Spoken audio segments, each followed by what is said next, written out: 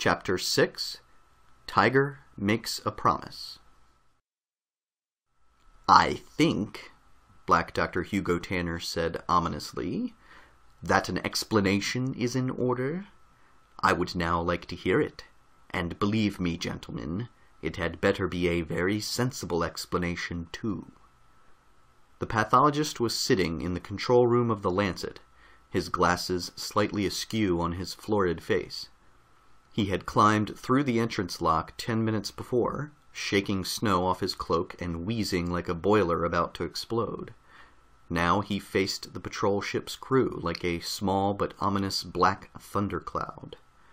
Across the room, Jack Alvarez was staring through the view screen at the blizzard howling across the landing field below, a small, satisfied smile on his face, while Tiger sulked with his hands jammed into his trousers. Dal sat by himself, feeling very much alone, with Fuzzy peering discreetly out of his jacket pocket. He knew the Black Doctor was speaking to him, but he didn't try to reply. He had known from the moment the surgeon came out of the operating room that he was in trouble. It was just a matter of time before he would have to answer for his decision here, and it was even something of a relief that the moment came sooner rather than later. And the more Dal considered his position, the more indefensible it appeared. Time after time he had thought of Dr. Arnquist's words about judgment and skill. Without one, the other was of little value to a doctor, and whatever his skill as a surgeon might have been in the Moruan operating room, he now realized that his judgment had been poor. He had allowed himself to panic at a critical moment and had failed to see how far the surgery really had progressed. By deciding to wait for help to arrive instead of taking over at once, he had placed the patient in even greater jeopardy than before. In looking back, Dal could see clearly that it would have been far better judgment to proceed on his own. But that was how it looked now, not then, and there was an old saying that the retrospectoscope was the only infallible instrument in all medicine. In any event, the thing was done, and couldn't be changed, and Dal knew that he could only stand on what he had done, right or wrong. Well, I'm waiting, Black Dr. Tanner said, scowling at Dal through his thick-rimmed glasses.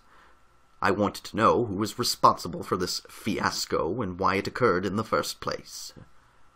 Dal spread his hands hopelessly. What do you want me to say? he asked. I took a careful history of the situation as soon as we arrived here, and then I examined the patient in the operating room, I thought the surgery might be over my head, and couldn't see attempting it if a hospital ship could be reached in time. I thought the patient could be maintained safely long enough for us to call for help. I see, the Black Doctor said. You've done microsurgery before? Yes, sir. And organ transplant work? Yes, sir. The Black Doctor opened a folder and peered at it over his glasses. As a matter of fact, you spent two solid years in microsurgical training in Hospital Philadelphia with all sorts of glowing reports from your preceptors about what a flair you had for the work. Dal shook his head. I, I did some work in the field, yes, but not on critical cases under field conditions. You mean this case required some different kind of technique than the cases you've worked on before? No, not really, but but you just couldn't quite shoulder the responsibility the job involved when you got into a pinch without any help around, the Black Doctor growled. I just thought it would be safer to wait, Dal said helplessly. A good conservative approach, Dr. Tanner sneered. Of course you realized that prolonging anesthesia in itself could threaten the patient's life? Yes, sir, and you saw the patient's condition steadily deteriorating while you waited, did you not? It was too late to change my mind then, Dal said desperately. We'd sent for you. We knew that it would be only a matter of hours before you arrived. Indeed, the Black Doctor said. Unfortunately, it takes only seconds for a patient to cross the line between life and death, not hours and I suppose you would have stood there quietly and allowed him to expire if we had not arrived at the time we did? Dal shook his head miserably. There was nothing he could answer to that, and he realized it. What could he say? That the situation seemed quite different now than it had under pressure in the Moruan operating room? That he would have been blamed just as much if he had gone ahead and then lost the case? His fingers stole down to Fuzzy's soft, warm body for comfort, and he felt the little creature cling closer to his side. The Black Doctor looked up at the others. Well, what do the rest of you have to say? Jack Alvarez shrugged his shoulders. I'm not a surgeon, he said, but even I could see that something should be done without delay. And what does the Green Doctor think? Tiger shrugged. We misjudged the situation, that's all. It came out fortunately for the patient. Why make all the fuss about it? Because there are other things at stake than just medical considerations, the Black Doctor shot back.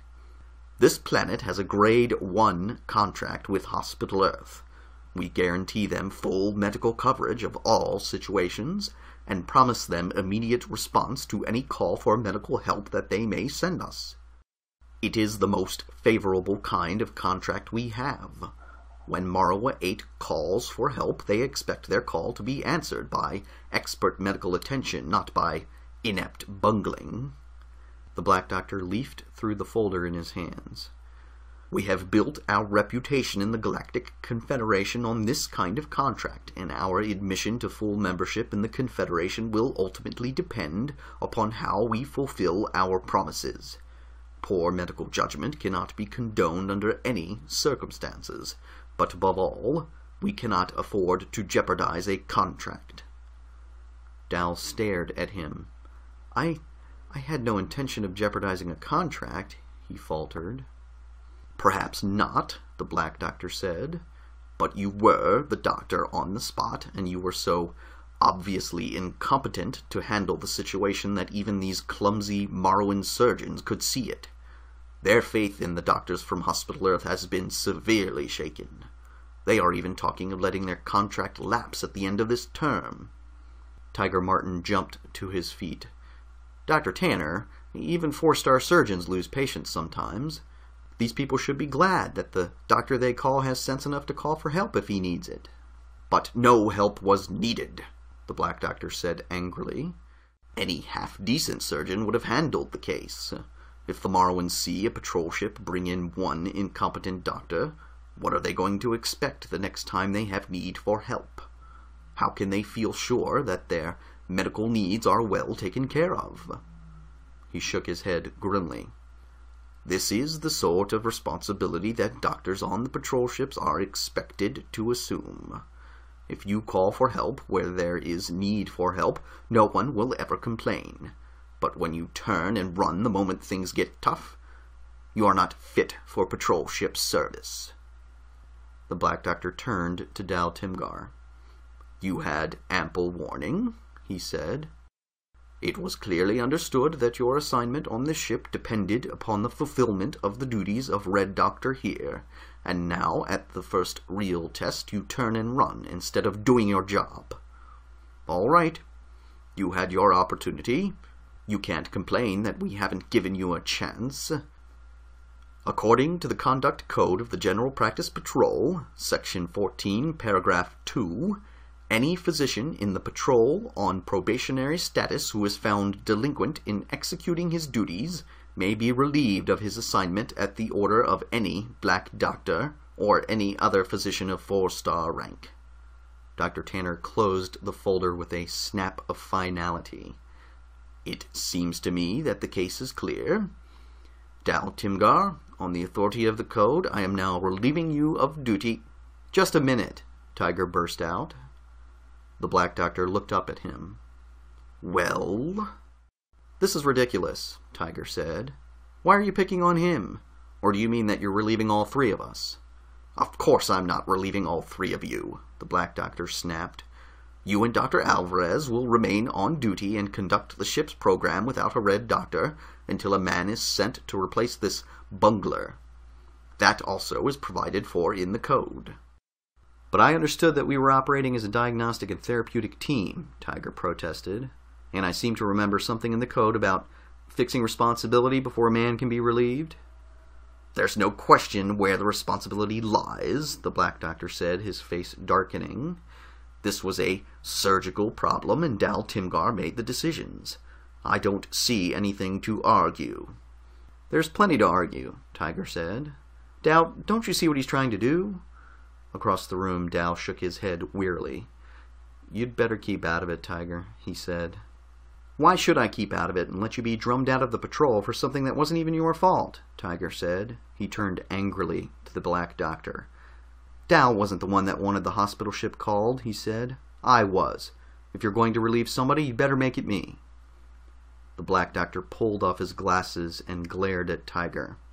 Whatever are you talking about? he said. Just what I said. We had a conference after he'd examined the patient in the operating room, and I insisted that we call the hospital ship. Why, Dal? Dal wanted to go ahead and try to finish the case right then, and I wouldn't let him. Tiger blundered on. I didn't think the patient could take it. I thought that it would be too great a risk with the facilities we had here. Dal was staring at Tiger, and he felt Fuzzy suddenly shivering violently in his pocket. Tiger, don't be foolish. The Black Doctor slammed the file down on the table again. Is this true, what he's saying? he asked Dal. No, not a word of it, Dal said. I wanted to call the hospital ship. Of course he won't admit it, Tiger said angrily. He's afraid you'll kick me out too, but it's true just the same in spite of what he says. And what do you say? the Black Doctor said, turning to Jack Alvarez. I say it's carrying this Big Brother act too far, Jack said. I didn't notice any conferences going on. You were back at the ship getting the surgical pack, Tiger said. You didn't know anything about it. You didn't hear us talking, and we didn't see any reason to consult you about it. The Black Doctor stared from Dal to Tiger, his face growing angrier by the minute. He jerked to his feet and stalked back and forth across the control room, glaring at them. Then he took a capsule from his pocket, gulped it down with some water, and sat back down. I ought to throw you both out on your ears, he snarled, but I am forced to control myself. I mustn't allow myself to get angry. He crashed his fist down on the control panel. I suppose that you would swear to this statement of yours if it came to that? he asked Tiger. Tiger nodded and swallowed hard. Yes, sir, I certainly would. All right, the Black Doctor said tightly. Then you win this one.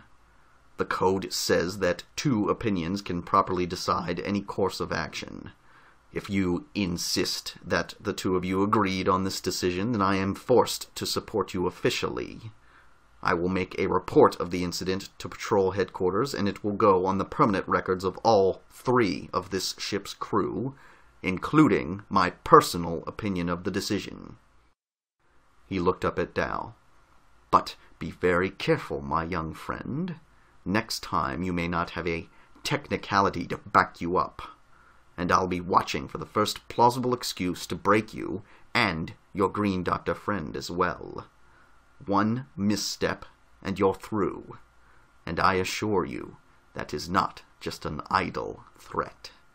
I mean every word of it. And, trembling with rage, the Black Doctor picked up the folder wrapped his cape around him, and marched out of the control room. Well, you put on a great show, Jack Alvarez said later as they prepared the ship for launching from the snow-swept landing field on Morua 8. An hour before, the ground had trembled as the Black Doctor's ship took off with Dr. Tanner and the four-star surgeon aboard. Now Jack broke the dark silence in the Lancet's control room for the first time. A really great show. You missed your calling, Tiger. You should have been on the stage. If you think you fooled Dr. Tanner with that story for half a second, you're crazy. But I guess you got what you wanted.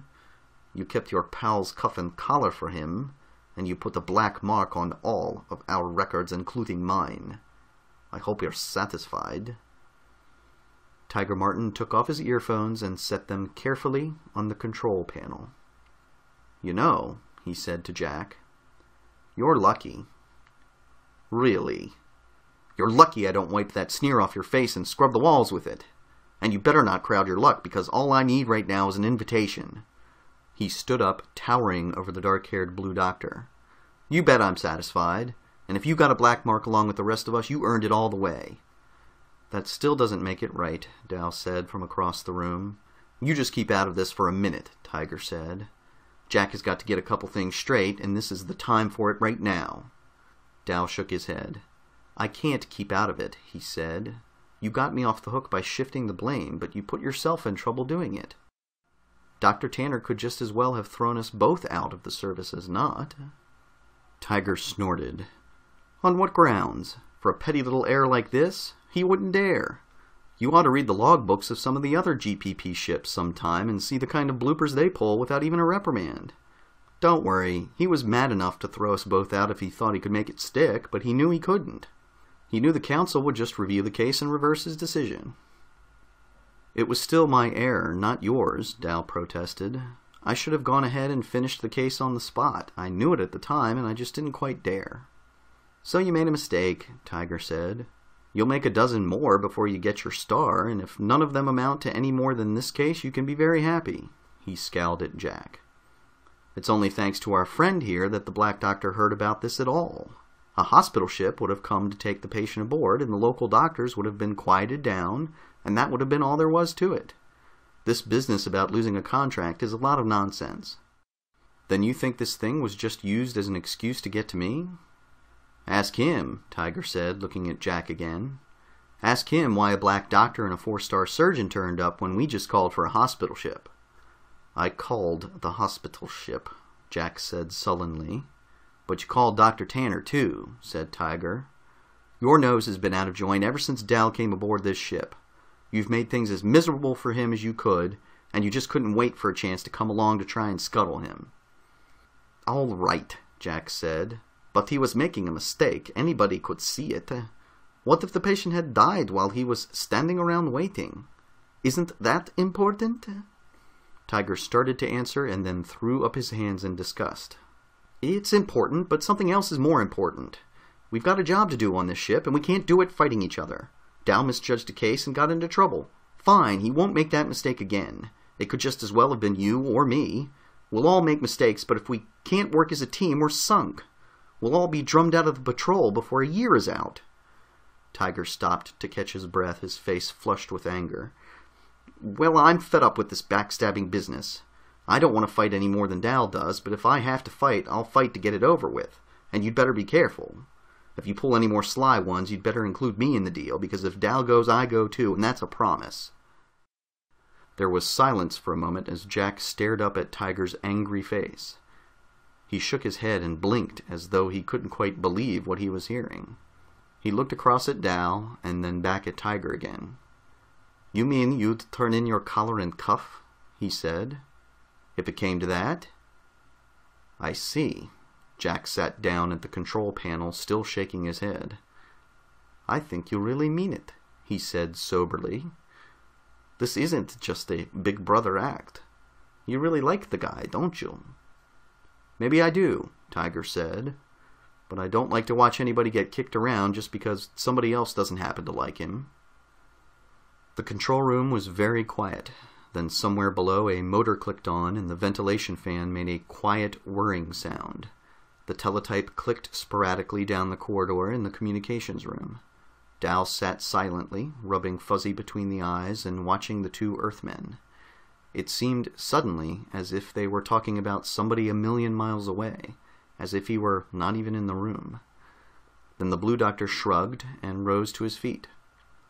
All right, he said to Tiger. I guess I just didn't understand where you stood, and I suppose it wasn't my job to let the Black Doctor know about the situation here. I don't plan to be making all the mistakes you think we're going to make and I won't take the blame for anybody else's.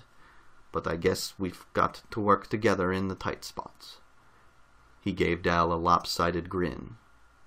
Welcome aboard, he said. We'd better get this crate airborne before the people here come and cart it away. They moved then, and the subject was dropped. Half an hour later, the Lancet lifted through the atmospheric pole of the Moruan planet and moved on toward the next contact point, leaving the recovering patient in the hands of the native physicians. It was not until hours later that Dal noticed that Fuzzy had stopped quivering and was resting happily and securely on his shoulder, even when the Blue Doctor was near. End of Chapter 6 Chapter 7 Alarms and Excursions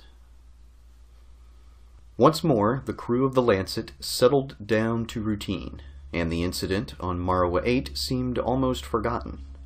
But a change had come about in the relations between the three doctors, and in every way the change was for the better. If Jack Alvarez was not exactly cordial to Dal Timgar, at least he had dropped the open antagonism that he had shown before. Apparently, Tiger's angry outburst had startled Jack, as though he had never really considered that the big Earthman might honestly be attached to his friend from Garv 2 and the Blue Doctor seemed sincere in his agreement to work with Dal and Tiger as a team. But bit by bit, Dal could sense that the change in Jack's attitude went deeper than the surface. You know, I really think he was scared of me, Dal said one night when he and Tiger were alone. Sounds silly, but I think it's true. He pretends to be so sure of himself, but I think he's as worried about doing things wrong as we are, and just won't admit it and he really thought I was a threat when I came aboard. He probably had a good thorough briefing from Black Dr. Tanner before he got the assignment, Tiger said grimly. Maybe, but somehow I don't think he cares for the Black Doctor much more than we do. But whatever the reason, much of the tension was gone when the Lancet had left the Moruan system behind. A great weight seemed to have been lifted, and if there was not quite peace on board, at least there was an uneasy truce. Tiger and Jack were almost friendly, talking together more often and getting to know each other better. Jack still avoided Dal and seldom included him in conversations, but the open contempt of the first few weeks on the ship now seemed tempered somewhat. Once again, the Lancet's calls fell into a pattern. Landings on the outpost planets became routine, bright spots in a lonely and wandering existence. The calls that came in represented few real problems. The ship stopped at one contract planet to organize a mass inoculation program against a parasitic infestation resembling malaria. They paused at another place to teach the native doctors the use of some new surgical instruments that had been developed in Hospital Earth laboratories just for them. Frantic emergency calls usually proved to involve trivial problems, but once or twice potentially serious situations were spotted early before they could develop into real trouble.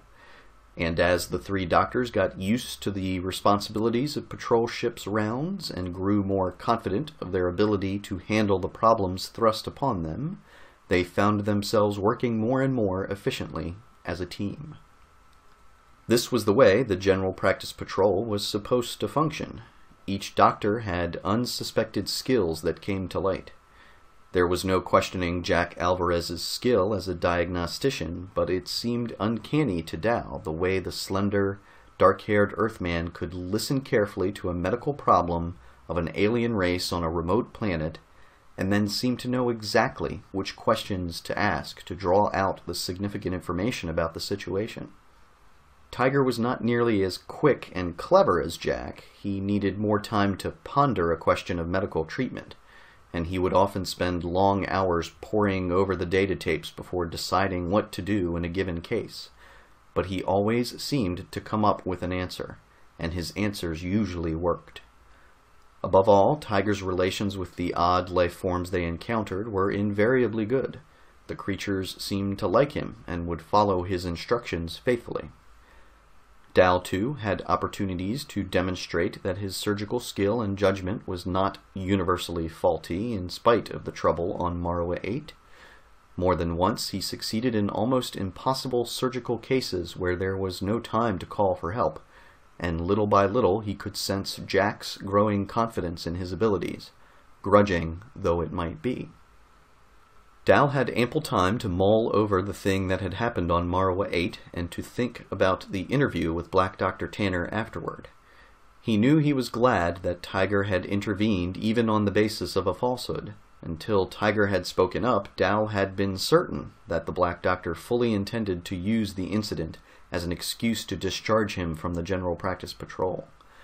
There was no question in his mind that the Black Doctor's charges had been exaggerated into a trumped up case against him, and there was no question that Tiger's insistence on taking the blame had saved him.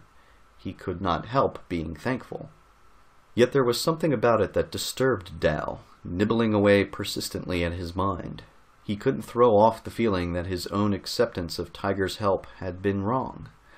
Part of it, he knew, was his native inbred loathing for falsehood. Fair or unfair, Dal had always disliked lying. Among his people, the truth might be bent occasionally, but frank lying was considered a deep disgrace, and there was a Garvian saying that a false tongue wins no true friends. Garvian traders were known throughout the galaxy as much for their rigid adherence to their word as they were for the hard bargains they could drive. Dal had been enormously confused during his first months on Hospital Earth by the way Earthmen seemed to accept lying as part of their daily life, unconcerned about it as long as the falsehood could not be proven. But something else about Tiger's defense of him bothered Dal far more than the falsehood, something that had vaguely disturbed him ever since he had known the big Earthman, and that now seemed to elude him every time he tried to pinpoint it. Lying in his bunk during a sleep period, Dal remembered vividly the first time he had met Tiger, early in the second year of medical school. Dal had almost despaired by then of making friends with his hostile and resentful classmates, and had begun more and more to avoid contact with them, building up a protective shell and relying on Fuzzy for company or comfort. Then Tiger had found him eating lunch by himself in the medical school lounge one day, and flopped down in the seat beside him and began talking as if Dal were just another classmate. Tiger's open friendliness had been like a spring breeze to Dal, who was desperately lonely in this world of strangers. Their friendship had grown rapidly, and gradually others in the class had begun to thaw enough at least to be civil when Dal was around. Dal had sensed that this change of heart was largely because of Tiger, and not because of him, yet he had welcomed it as a change from the previous intolerable coldness, even though it left him feeling vaguely uneasy. Tiger was well liked by the others in the class. Dal had been grateful more than once when Tiger had risen in hot defense of the Garvian's right to be studying medicine among Earthmen in the school on Hospital Earth. But that had been in medical school, among classmates. Somehow that had been different from the incident that occurred on Morua 8, and Dal's uneasiness grew stronger than ever the more he thought of it. Talking to Tiger about it was no help, Tiger just grinned and told him to forget it, but even in the rush of shipboard activity, it stubbornly refused to be forgotten. One minor matter also helped to ease the tension between the doctors as they made their daily rounds. Tiger brought a pink dispatch sheet in to Dal one day, grinning happily. This is from the weekly news capsule, he said. It ought to cheer you up. It was a brief news note listed under incidental items. The Black Service of Pathology, it said, has announced that Black Dr. Hugo Tanner will enter Hospital Philadelphia within the next week for a prophylactic heart surgery. In keeping with usual Hospital Earth administrative policy, the four star Black Doctor will undergo a total cardiac transplant to halt the medical education administrator's progressively disabling heart disease. The note went on to name the surgeons who would officiate at the procedure. Dal smiled and handed back the dispatch. Maybe it will improve his temper, he said, even if it does give him another fifty years of active life. Well, at least it will take him out of our hair for a while, Tiger said. He won't have time to keep us under too close scrutiny. Which Dal was forced to admit did not make him too unhappy. Shipboard rounds kept all three doctors busy, Often, with contact landings, calls, and studying, it seemed only a brief time from sleep period to sleep period, but still they had some time for minor luxuries. Dal was almost continuously shivering, with the ship kept at a temperature that was comfortable for Tiger and Jack. He missed the tropical heat of his home planet, and sometimes it seemed that he was chilled down to the marrow of his bones in spite of his coat of gray fur. With a little homemade plumbing and ingenuity, he finally managed to convert one of the ship's shower units into a steam bath. Once or twice each day he would retire for a blissful half hour, warming himself up to Garv 2 normal temperatures. Fuzzy also became a part of shipboard routine. Once he grew accustomed to Tiger and Jack and the surroundings aboard the ship, the little creature grew bored sitting on Dal's shoulder and wanted to be in the middle of things. Since the early tension had eased, he was willing to be apart from his master from time to time. So Dal and Tiger built him a platform that hung from the ceiling of the control room. There Fuzzy would sit and swing by the hour, blinking happily at the activity going on all around him. But for all the appearance of peace and agreement, there was still an undercurrent of tension on board the Lancet which flared up from time to time when it was least expected between Dal and Jack. It was on one such occasion that a major crisis almost developed, and once again Fuzzy was the center of the contention. Dal Timgar knew that disaster had struck at the very moment it happened, but he could not tell exactly what was wrong. All he knew was that something fearful had happened to Fuzzy. There was a small soundproof cubicle in the computer room, with a chair, desk, and tape reader for the doctors when they had odd moments to spend reading up on recent medical bulletins or reviewing their textbooks.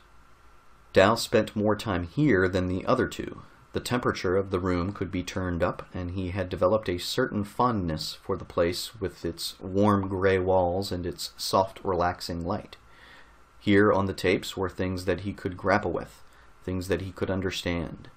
If a problem here eluded him, he could study it out until he had mastered it. The hours he spent here were a welcome retreat from the confusing complexities of getting along with Jack and Tiger. These long study periods were boring for Fuzzy, who wasn't much interested in the oxygen exchange mechanism of the intelligent beetles of Aldebaran 6. Frequently, Dal would leave him to swing on his platform or explore about the control cabin, while he spent an hour or two at the tape reader. Today, Dal had been working for over an hour, deeply immersed in a review of the intermediary metabolism of chlorine-breathing mammals, when something abruptly wrenched his attention from the tape. It was as though a light had snapped off in his mind, or a door slammed shut. There was no sound, no warning, yet suddenly he felt dreadfully, frighteningly alone, as if in a split second something inside him had been torn away.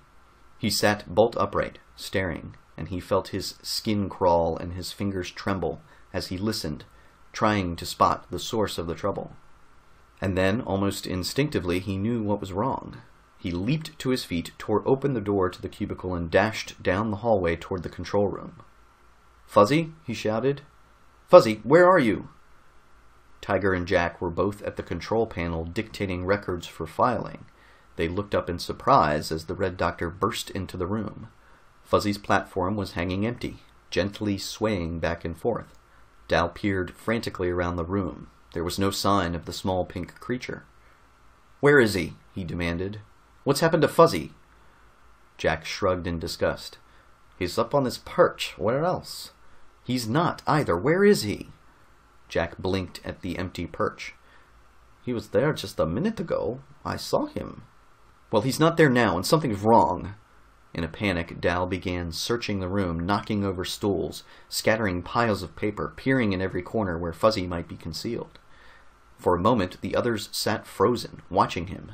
Then Tiger jumped to his feet. Hold it, hold it! He, he probably just wandered off for a minute. He does that all the time. No, it's something worse than that. Dal was almost choking on the words. Something terrible has happened, I know it. Jack Alvarez tossed the recorder down in disgust. You and your miserable pet, he said. I knew we shouldn't have kept him on board. Dal stared at Jack. Suddenly, all the anger and bitterness of the past few weeks could no longer be held in. Without warning, he hurled himself at the Blue Doctor's throat. Where is he? he cried. What have you done with him? What have you done to Fuzzy? You've done something to him. You've hated him every minute just like you hate me. Only he's easier to pick on. Now where is he? What have you done with him? Jack staggered back, trying to push the furious little Garvian away. Wait a minute. Get away from me. I didn't do anything. You did too. Where is he? I don't know. Jack struggled to break free, but there was powerful strength in Dal's fingers for all his slight body build. I tell you, he was here just a minute ago. Dal felt a hand grip his collar then, and Tiger was dragging them apart like two dogs in a fight. Now stop this, he roared, holding them both at arm's length. I said stop it. Jack didn't do anything to Fuzzy. He's been sitting here with me ever since you went back to the cubicle. He hasn't even budged. But he's gone, Dal panted. Something's happened to him. I know it. How do you know? I I just know. I can feel it. All right then, let's find him, Tiger said. He's got to be somewhere on the ship. If he's in trouble, we're wasting time fighting. Tiger let go, and Jack brushed off his shirt, his face very white. I saw him just a little while ago, he said. He was sitting up on that silly perch watching us, and then swinging back and forth and swinging over to that cabinet and back. Well, let's get started looking, Tiger said. They fanned out, with Jack still muttering to himself, and searched the control room inch by inch. There was no sign of Fuzzy. Dal had control of himself now, but he searched with a frantic intensity. He's not in here, he said at last. He must have gone out somewhere. There was only one door open, Tiger said. The one you just came through from the rear corridor. Dal, you search the computer room. Jack, check the lab, and I'll go back to the reactors. They started searching the compartments off the rear corridor. For ten minutes there was no sound in the ship but the occasional slamming of a hatch, the grate of a desk drawer, the bang of a cabinet door. Dal worked through the maze of cubbyholes in the computer room with growing hopelessness. The frightening sense of loneliness and loss in his mind was overwhelming. He was almost physically ill. The warm, comfortable feeling of contact that he had always had before with Fuzzy was gone. As the minutes passed, hopelessness gave way to despair. Then Jack gave a hoarse cry from the lab. Dal tripped and stumbled in his haste to get down the corridor and almost collided with Tiger at the lab door.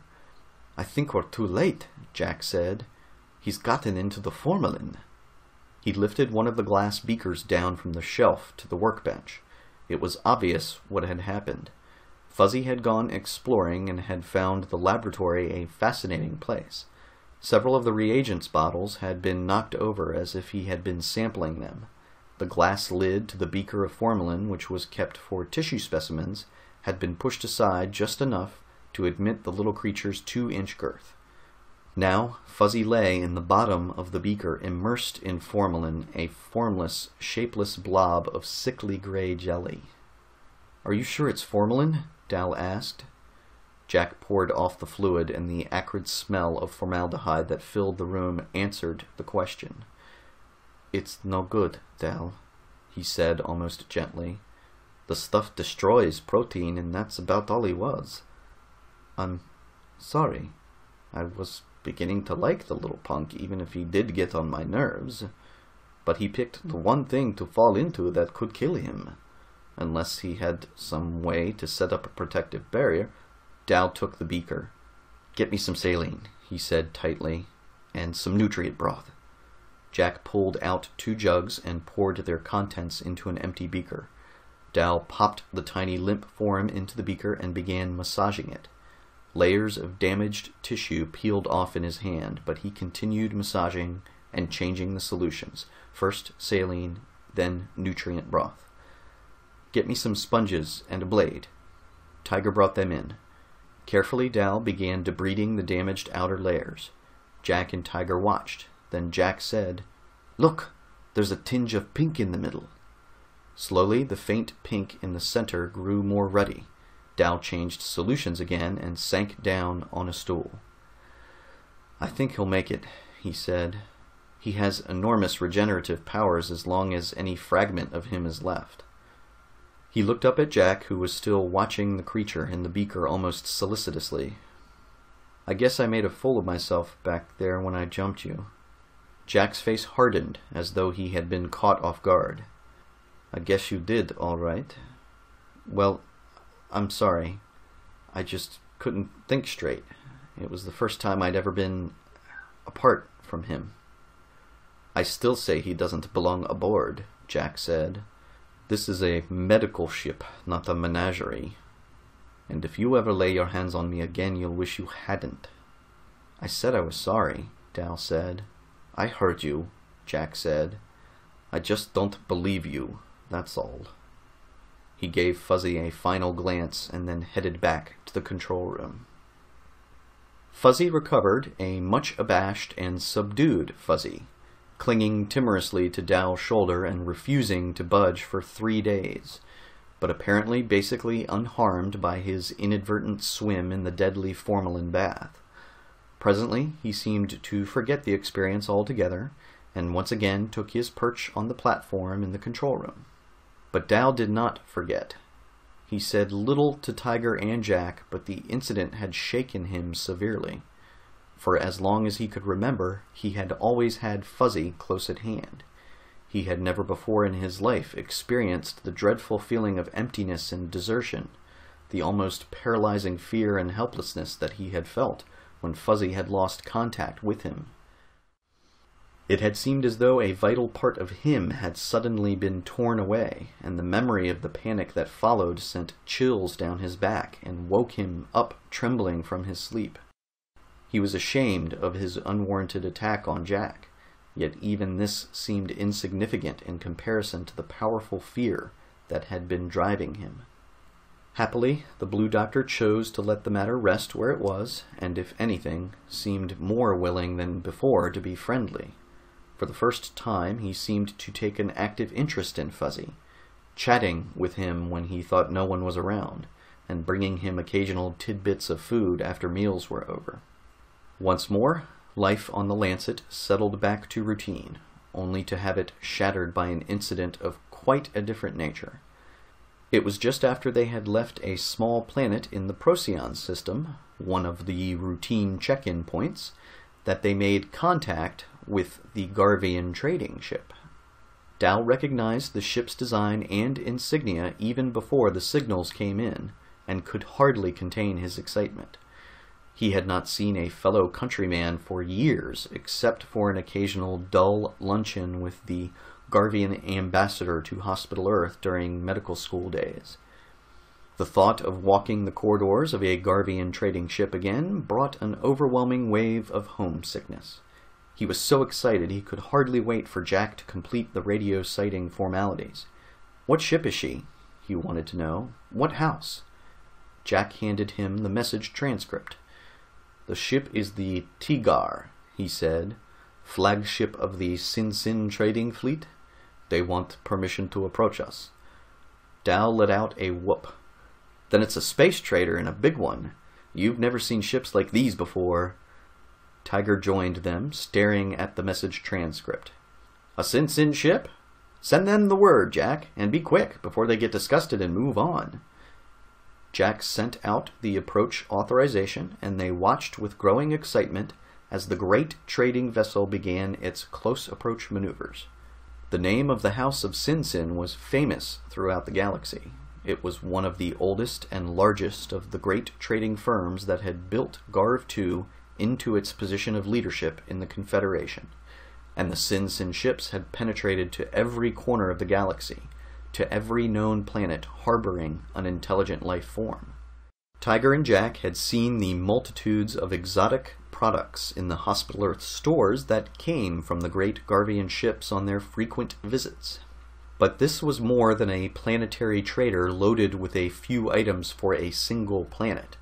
The space traders roamed from star system to star system, their holds filled with treasures beyond number. Such ships as these might be out from Garv 2 for decades at a time, tempting any ship they met with the magnificent variety of wares they carried. Slowly the trader approached, and Dal took the speaker, addressing the commander of the Tigar in Garvian. This is the General Practice Patrol ship Lancet, he said, out from Hospital Earth with three physicians aboard, including a countryman of yours. Is that Dal Timgar? The reply came back. By the seven moons, we'd heard that there was now a Garvian physician and couldn't believe our ears. Come aboard, all of you. You'll be welcome. We'll send over a lifeboat. The Tigar was near now, a great gleaming ship with the sign of the House of Sinsin on her hull. A lifeboat sprang from the launching rack and speared across to the Lancet. Moments later, the three doctors were climbing into the sleek little vessel and moving across the void of space to the huge Garvian ship. It was like stepping from a jungle outpost village into a magnificent, glittering city. The Garvian ship was enormous. She carried a crew of several hundred, and the wealth and luxury of the ship took the Earthmen's breath away. The cabins and lounges were paneled with expensive fabrics and rare woods, the furniture inlaid with precious metals. Down the long corridors, goods of the traders were laid out in resplendent display, surpassing the richest showcases in the shops on Hospital Earth. They received a royal welcome from the commander of the Tigar, an aged, smiling little Garvian with a pink fuzzball on his shoulder that could have been Fuzzy's twin. He bowed low to Tiger and Jack, leading them into the reception lounge where a great table was spread with foods and pastries of all varieties. Then he turned to Dal and embraced him like a long-lost brother. Your father Jay Timgar has long been an honored friend of the House of Sinsin, and anyone of the House of Timgar is the same as my own son and my son's son. But this collar, this cuff, is it really possible that a man of Garv has become a physician of Hospital Earth? Dal touched Fuzzy to the commander's fuzzball in the ancient Garvian greeting. It's possible and true, he said. I studied there. I am the Red Doctor on this patrol ship. Ah, but this is good, the commander said. What better way to draw our worlds together, eh? But come, you must look and see what we have in our storerooms. Feast your eyes on the splendors we carry. For all of you, a thousand wonders are to be found here. Jack hesitated as the commander led them back toward the display corridors. We'd be glad to see the ship, but you should know that patrol ship physicians have little money to spend. Who speaks of money? the commander cried. Did I speak of it? Come and look. Money is nothing. The Garvian traders are not mere money changers. Look and enjoy. If there is something that strikes your eye, something that would fulfill the desires of your heart, it will be yours. He gave Dal a smile and a sly wink. Surely our brother here has told you many times of the wonders to be seen in a space trader, and terms can be arranged that will make any small purchase a painless pleasure. He led them off like a head of state conducting visiting dignitaries on a tour, with a retinue of Garvian underlings trailing behind them. For two delirious hours they wandered the corridors of the great ship, staring hungrily at the dazzling displays. They had been away from Hospital Earth and its shops and stores for months. Now it seemed they were walking through an incredible treasure trove stocked with everything that they could possibly have wanted. For Jack, there was a dress uniform, specially tailored for a physician in the Blue Service of Diagnosis, the insignia woven into the cloth with gold and platinum thread. Reluctantly, he turned away from it, a luxury he could never dream of affording. For Tiger, who had been muttering for weeks about getting out of condition in the sedentary life of the ship, there was a set of barbells and gymnasium equipment, ingeniously designed to collapse into a unit no larger than one foot square, yet opening out into a completely equipped gym. Dal's eyes glittered at the new sets of surgical instruments, designed to the most rigid Hospital Earth specifications which appeared almost without his asking to see them. There were clothes and games, precious stones and exotic rings, watches set with Arcturian dreamstones, and boots inlaid with silver. They made their way through the corridors, reluctant to leave one display for the next. Whenever something caught their eyes, the commander snapped his fingers excitedly, and the item was unobtrusively noted down by one of the underlings. Finally, exhausted and glutted just from looking, they turned back toward the reception room. The things are beautiful, Tiger said wistfully, but impossible. Still, you were very kind to take your time. Time? I have nothing but time, the commander smiled again to Dal. And there is an old Garvian proverb that to the wise man impossible has no meaning. Wait, you will see. They came out into the lounge, and the doctors stopped short in amazement. Spread out before them were all of the items that had captured their interest earlier. But uh, this is ridiculous, Jack said, staring at the dress uniform. We couldn't possibly buy these things. It would take our salaries for twenty years to pay for them. Have we mentioned price even once? The commander protested. You are the crewmates of one of our own people. We would not dream of setting prices that we would normally set for such trifles as these. And as for terms, you have no worry. Take the goods aboard your ship. They are already yours. We have drawn up contracts for you which require no payment whatever for five years, and then payments of only a fiftieth of the value for each successive year. And for each of you, with the compliments of the House of Sinsin, a special gift at no charge whatever. He placed in Jack's hands a small box with the lid tipped back.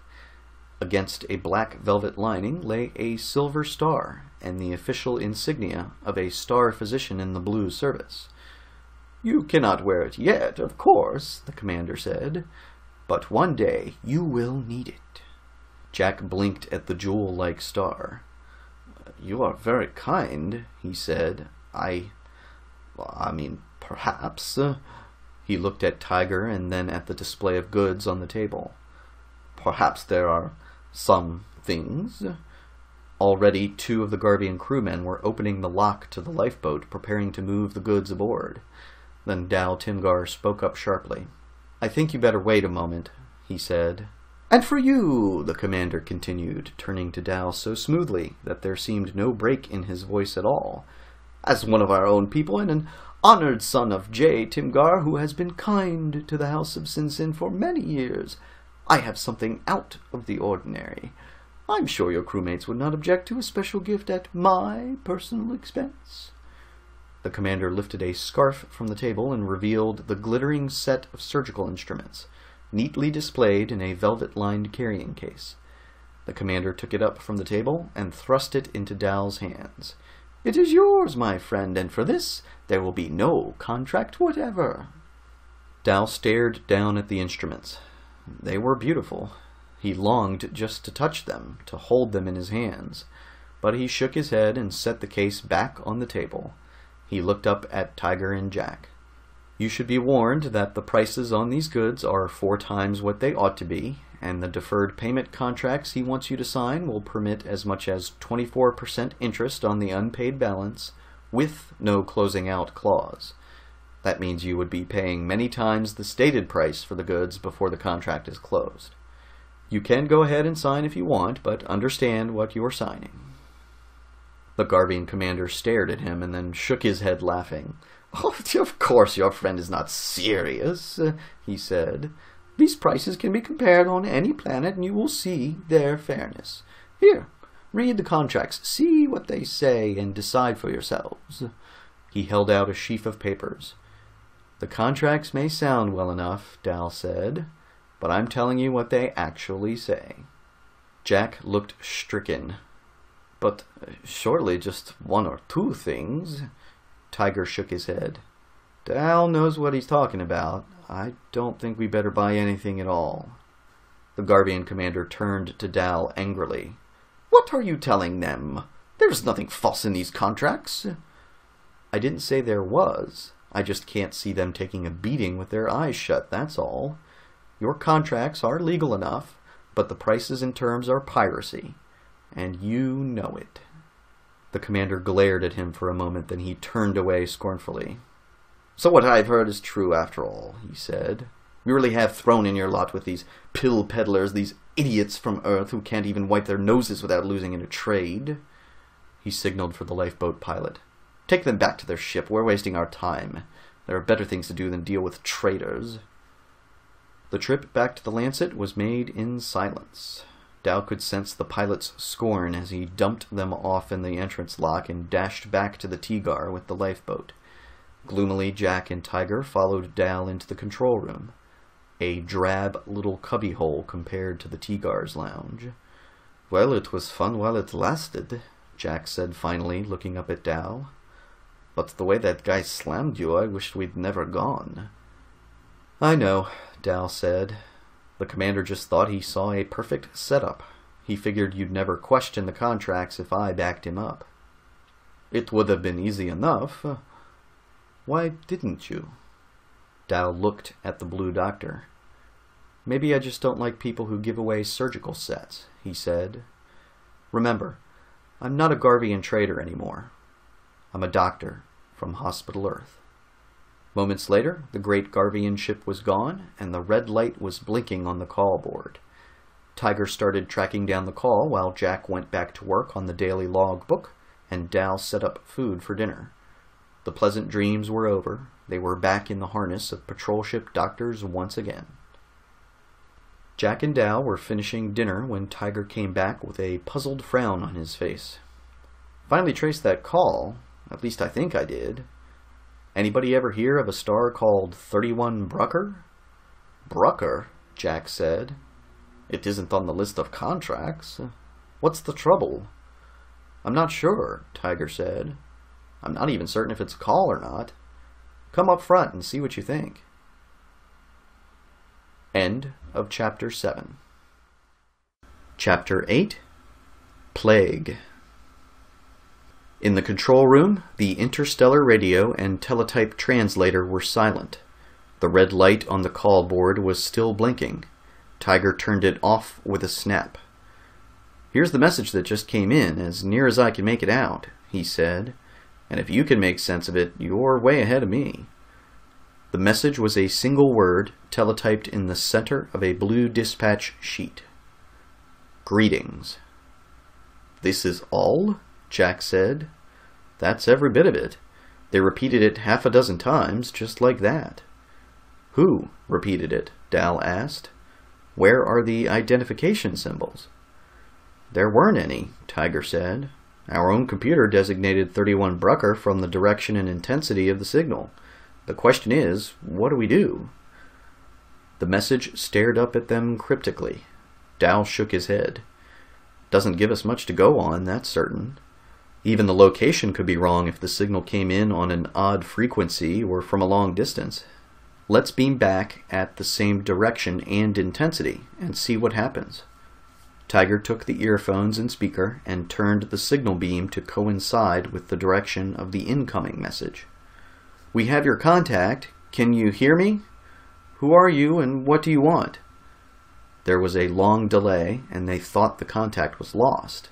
Then a voice came whispering through the static. Where is your ship now? Are you near us? We need your coordinates in order to tell, Tiger said. Who are you?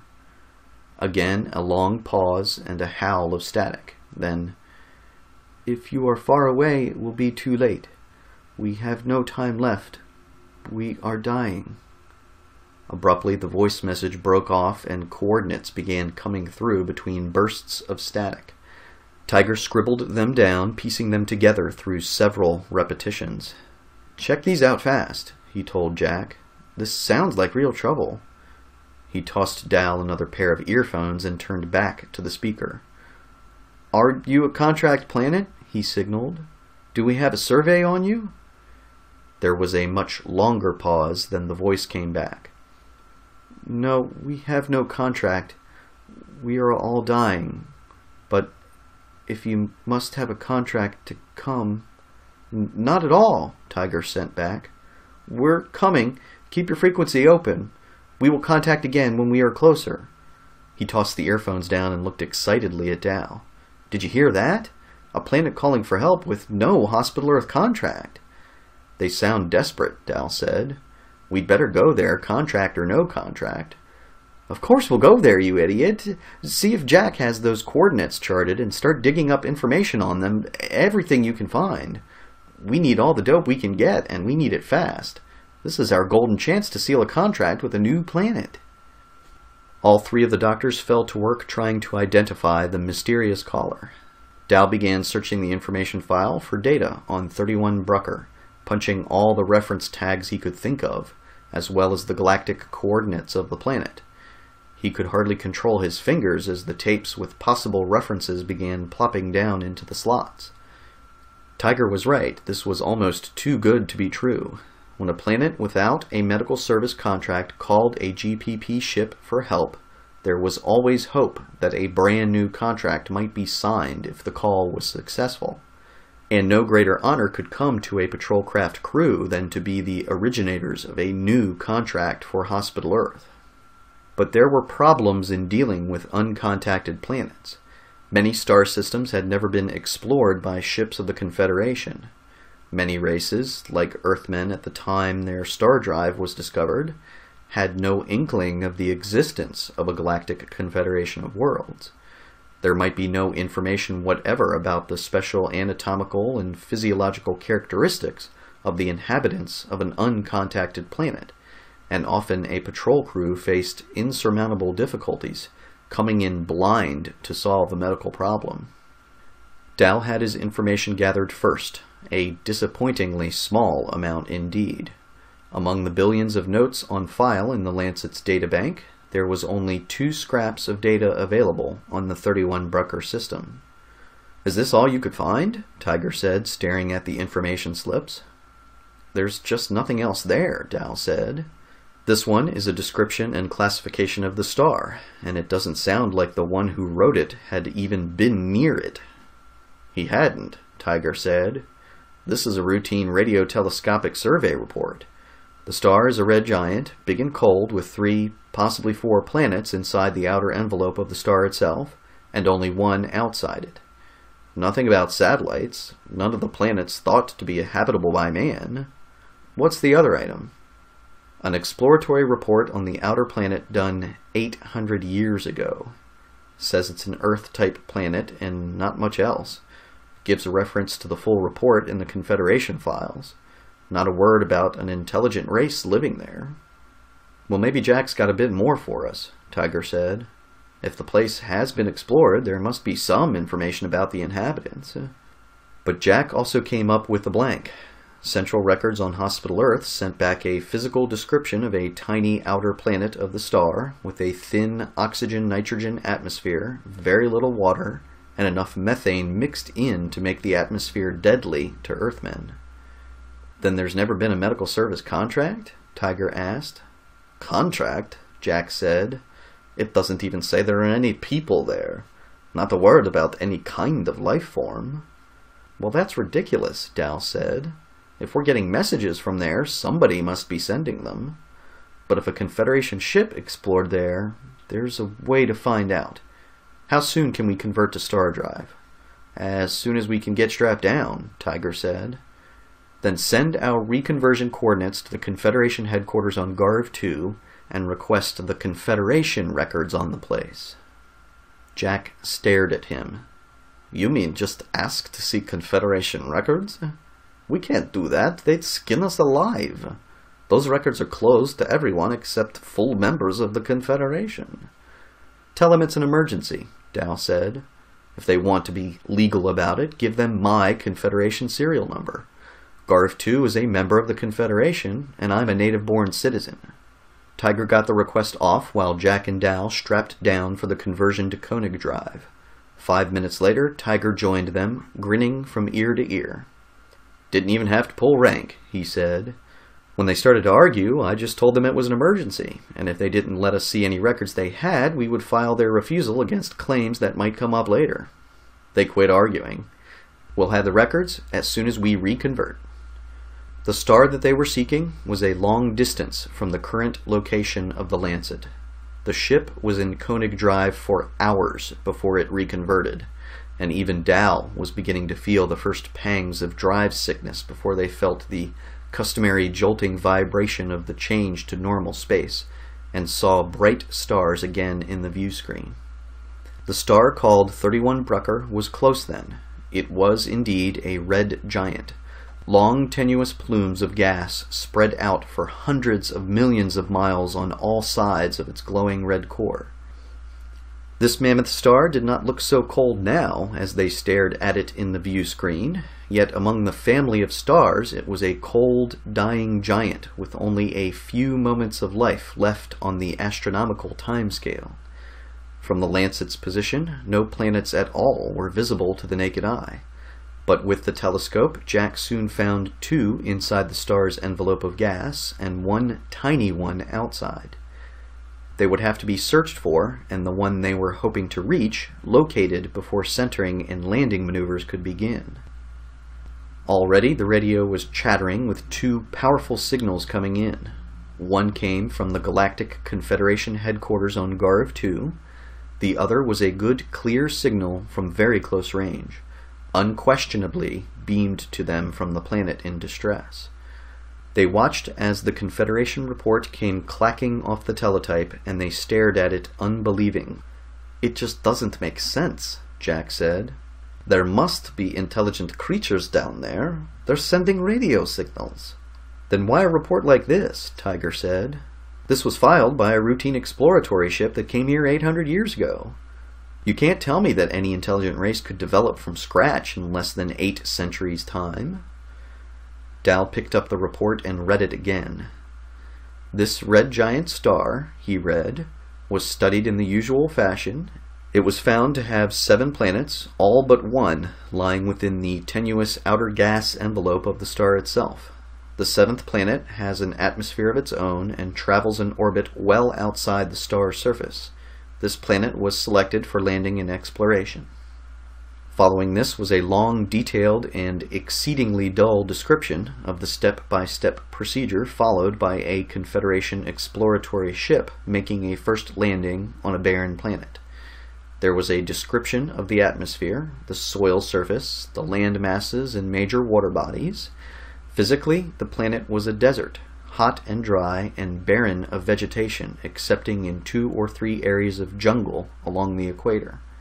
The planet is inhabited by numerous small unintelligent animal species which seem well adapted to the semi-arid conditions. Of higher animals and mammals, only two species were discovered, and of these the most highly developed was an erect biped with an integrated central nervous system and the intelligence level of a Garvian drachma. How small is that? Jack said. Idiot level, Dal said glumly. IQ of about 20 on the human scale. I guess the explorers weren't much impressed. They didn't even put the planet down for a routine colonization survey. Well, something has happened down there since then. Idiots can't build interstellar radios. Jack turned to Tiger. Are you getting them? Tiger nodded. A voice was coming over the speaker, hesitant and apologetic, using the common tongue of the Galactic Confederation. How soon can you come? The voice was asking clearly, still with the sound of great reticence. There is not much time. But who are you? Tiger asked. What's wrong down there? We are sick, dying, thousands of us. But if you have other work that is more pressing, we would not want to delay you. Jack shook his head, frowning. I don't get this, he said. What are they afraid of? Tiger spoke into the microphone again. We will be glad to help, but we need information about you. You have our position. Can you send up a spokesman to tell us your problem? A long pause, and then the voice came back wearily. It will be done. Stand by to receive him. Tiger snapped off the radio receiver and looked up triumphantly at the others. Now we're getting somewhere. If the people down there can send a ship out with a spokesman to tell us about their troubles, we've got a chance to sew up a contract, and that could mean a star for every one of us. Yes, but who are they? Dal said. And where were they when the Confederation ship was here? I don't know, Jack said, but I'll bet you both that we have quite a time finding out. Why? Tiger said. What do you mean? I mean, we'd better be very careful here. Jack said darkly. I don't know about you, but I think this whole business has a very strange smell. There was nothing strange about the Bruckian ship when it finally came into view.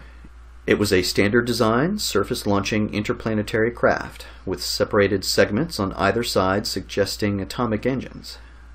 They saw the side jets flare as the ship maneuvered to come in alongside the Lancet. Grapplers were thrown out to bind the emissary ship to the Lancet's hull, and Jack threw the switches to open the entrance lock and decontamination chambers. They had taken pains to describe the interior atmosphere of the patrol ship and warn the spokesman to keep himself in a sealed pressure suit. On the intercom view screens, they saw the small suited figure cross from his ship into the Lancet's lock and watched as the sprays of formalin washed down the outside of the suit. Moments later, the creature stepped out of the decontamination chamber. He was small and humanoid, with tiny fragile bones and pale, hairless skin. He stood no more than four feet high. More than anything else, he looked like a very intelligent monkey, with a diminutive spacesuit fitting his fragile body. When he spoke, the words came through the translator in English, but Dal recognized the flowing syllables of the universal language of the Galactic Confederation. How do you know the common tongue? he said. There is no record of your people in our confederation, yet you use our own universal language.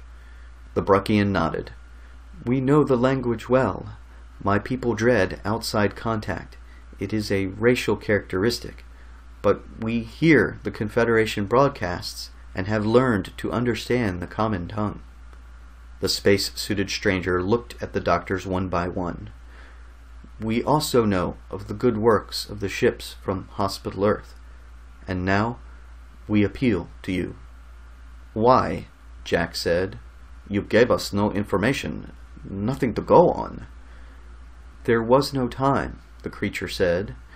Death is stalking our land, and the people are falling at their plows. Thousands of us are dying, tens of thousands. Even I am infected and soon will be dead. Unless you can find a way to help us quickly, it will be too late, and my people will be wiped from the face of the planet. Jack looked grimly at Tiger and Dal. Well, he said, I guess that answers our question all right. It looks as if we have a plague planet on our hands, whether we like it or not.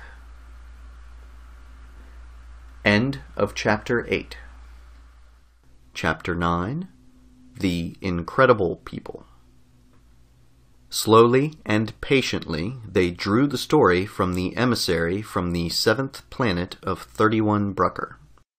The small, monkey-like creature was painfully shy. He required constant reassurance that the doctors did not mind being called, that they wanted to help, and that a contract was not necessary in an emergency. Even at that, the spokesman was reluctant to give details about the plague and about his stricken people. Every bit of information had to be extracted with patient questioning. By tacit consent, the doctors did not even mention the strange fact that this very planet had been explored by a Confederation ship 800 years before, and no sign of intelligent life had been found. The little creature before them seemed ready to turn and bolt at the first hint of attack or accusation. But bit by bit, a picture of the current situation on the planet developed.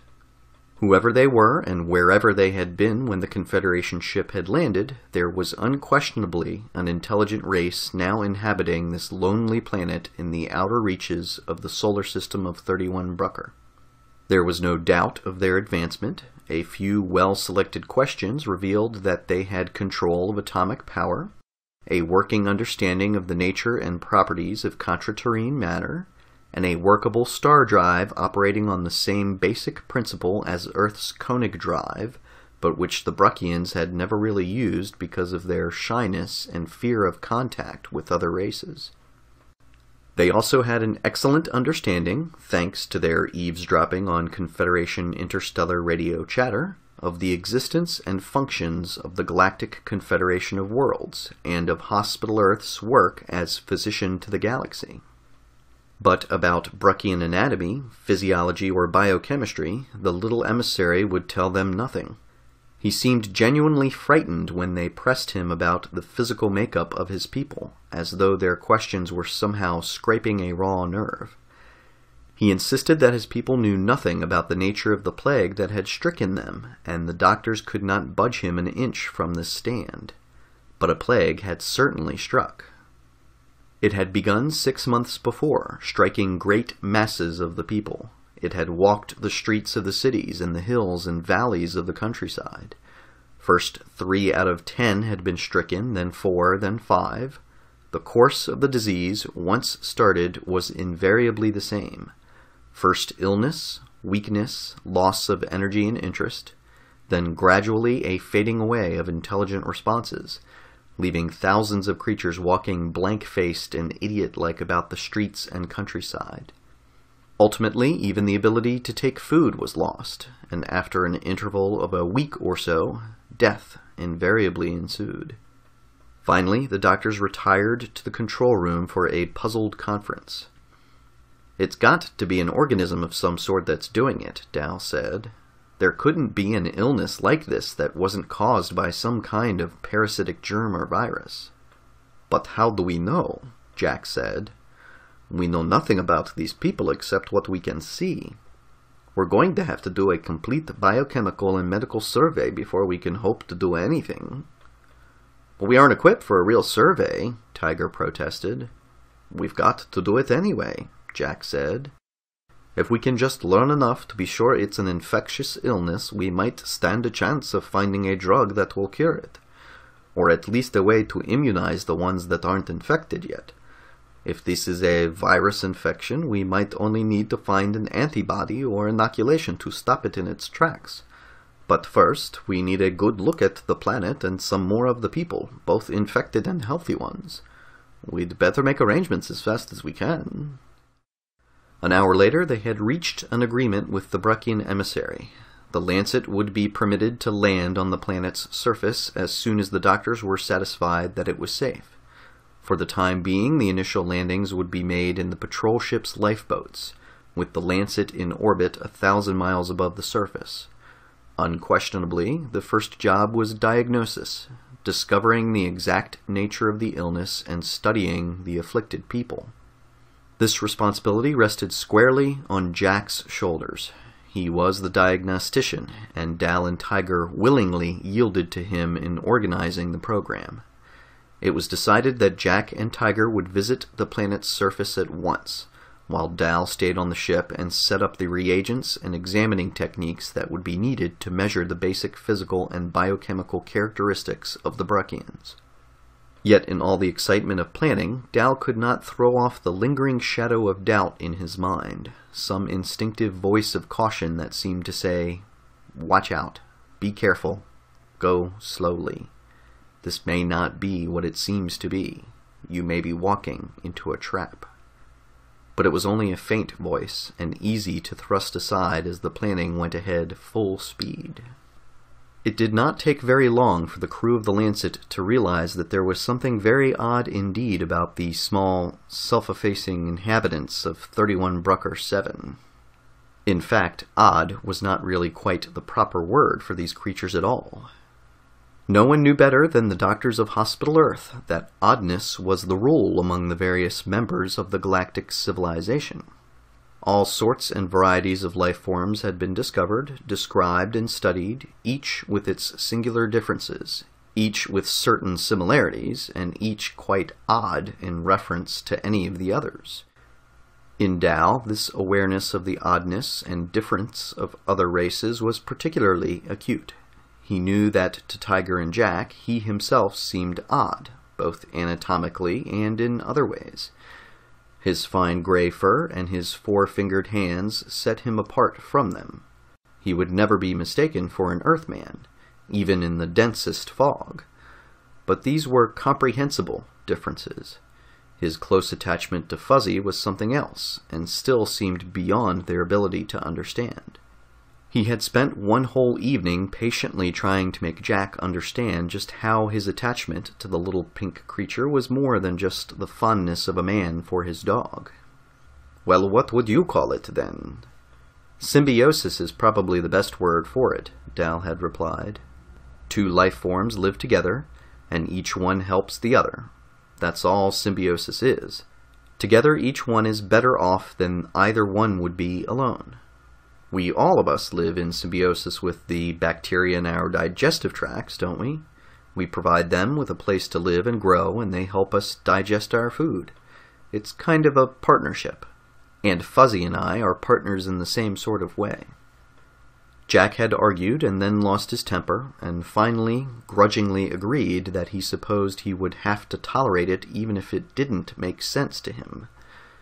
But the creatures on 31 Brucker 7 were odd far beyond the reasonable limits of oddness, so far beyond it that the doctors could not believe the things that their eyes and their instruments were telling them. When Tiger and Jack came back to the Lancet after their first trip to the planet's surface, they were visibly shaken.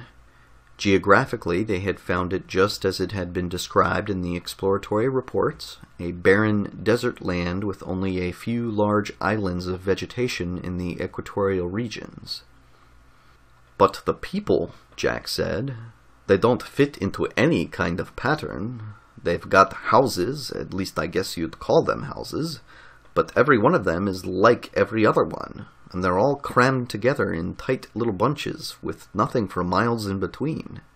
They've got an advanced technology, a good communication system, manufacturing techniques and everything, but they just don't use them. It's more than that, Tiger said. They don't seem to want to use them. Well, it doesn't add up to me, Jack said. There are thousands of towns and cities down there, all of them miles apart, and yet they had to go dig an old rusty jet scooter out of storage and get the motor rebuilt just specially to take us from one place to another. I know things can get disorganized with a plague in the land, but this plague just hasn't been going on that long. What about the sickness? Dal asked. Is it as bad as it sounded? Worse, if anything, Tiger said gloomily. They're dying by the thousands, and I hope we got those suits of ours decontaminated because I don't want any part of this disease. Graphically, he described the conditions they had found among the stricken people.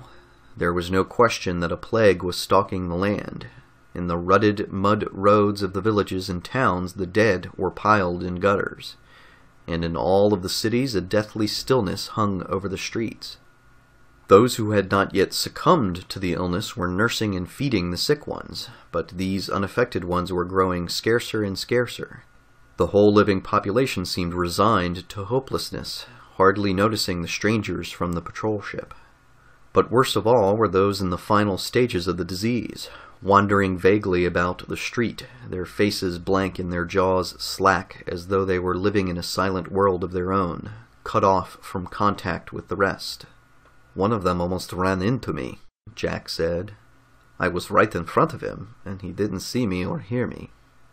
But don't they have any knowledge of antisepsis or isolation? Dal asked. Tiger shook his head. Not that we could see.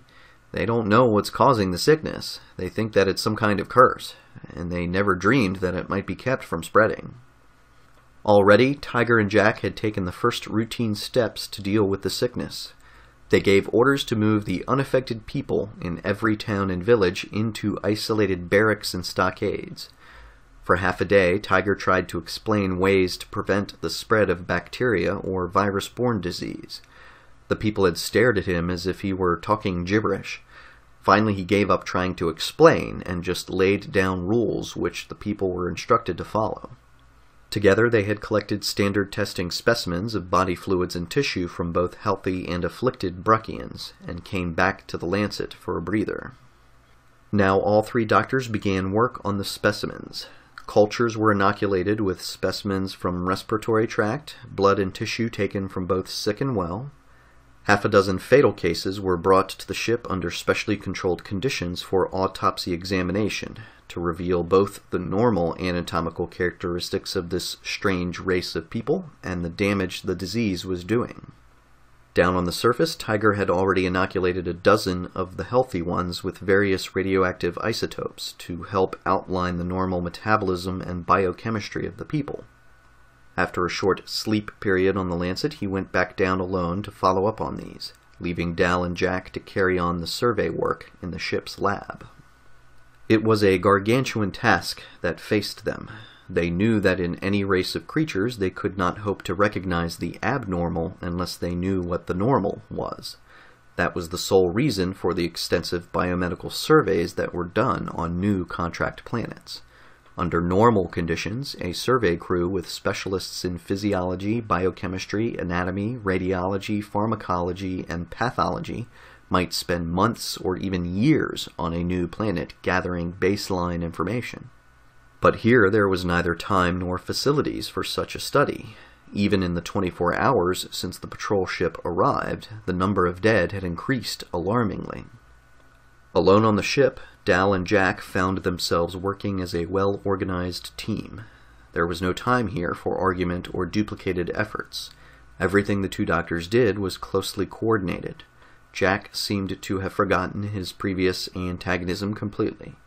There was a crisis here, and more work than three men could possibly do in the time available.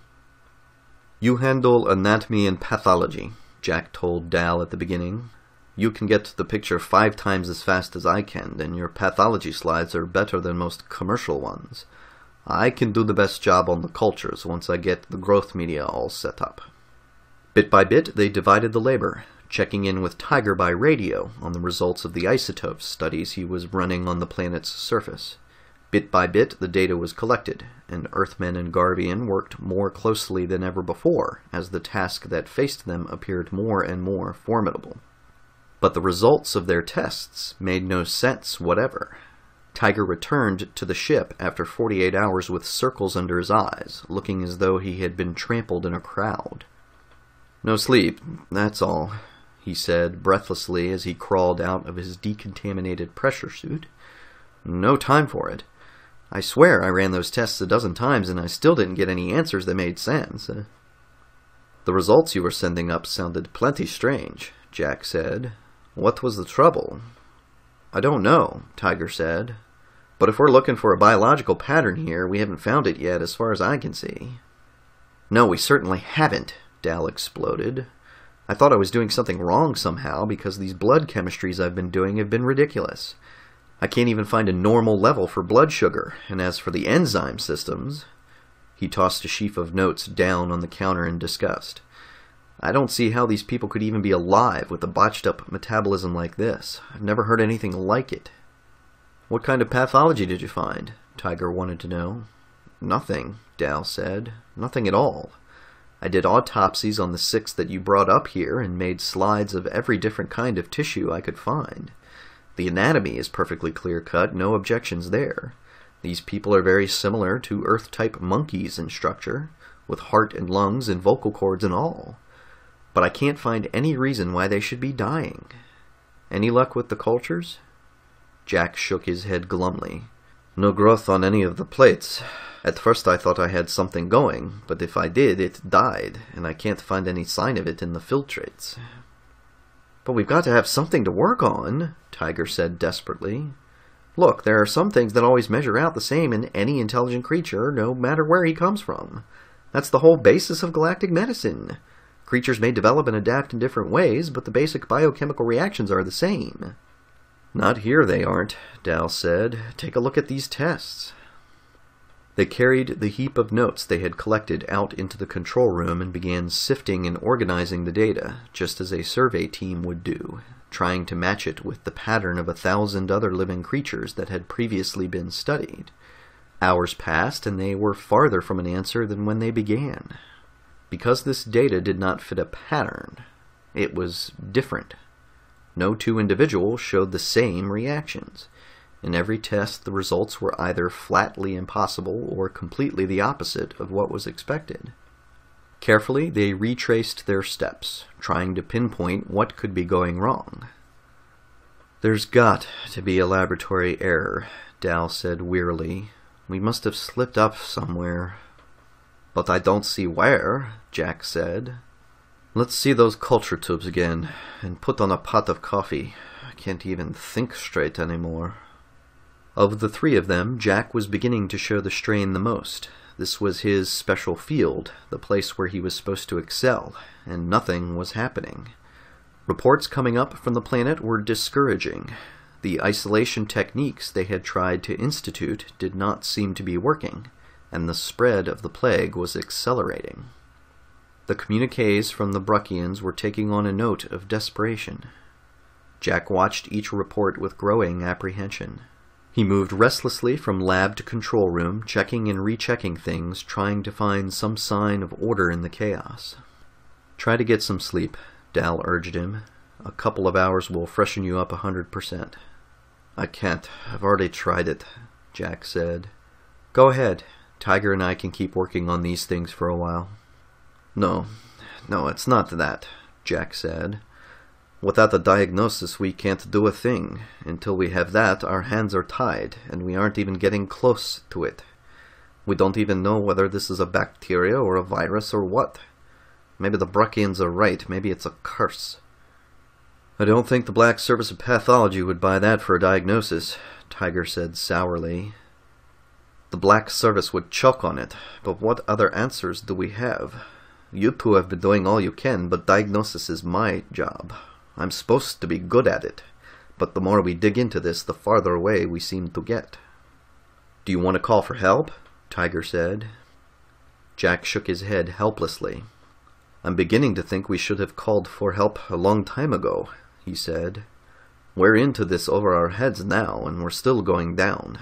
At the rate those people are dying down there, we don't have time to call for help now. He stared at the piles of notes on the desk and his face was very white. I don't know. I just don't know, he said. The diagnosis on this thing should have been duck soup. I thought it was going to be a real feather in my cap, just walking in and nailing it down in a few hours. Well, I'm whipped. I don't know what to do. If either of you can think of an answer, it's all yours, and I'll admit it to Black Dr. Tanner himself. It was bitter medicine for Blue Doctor Jack Alvarez to swallow, but that fact gave no pleasure to Dal or Tiger now.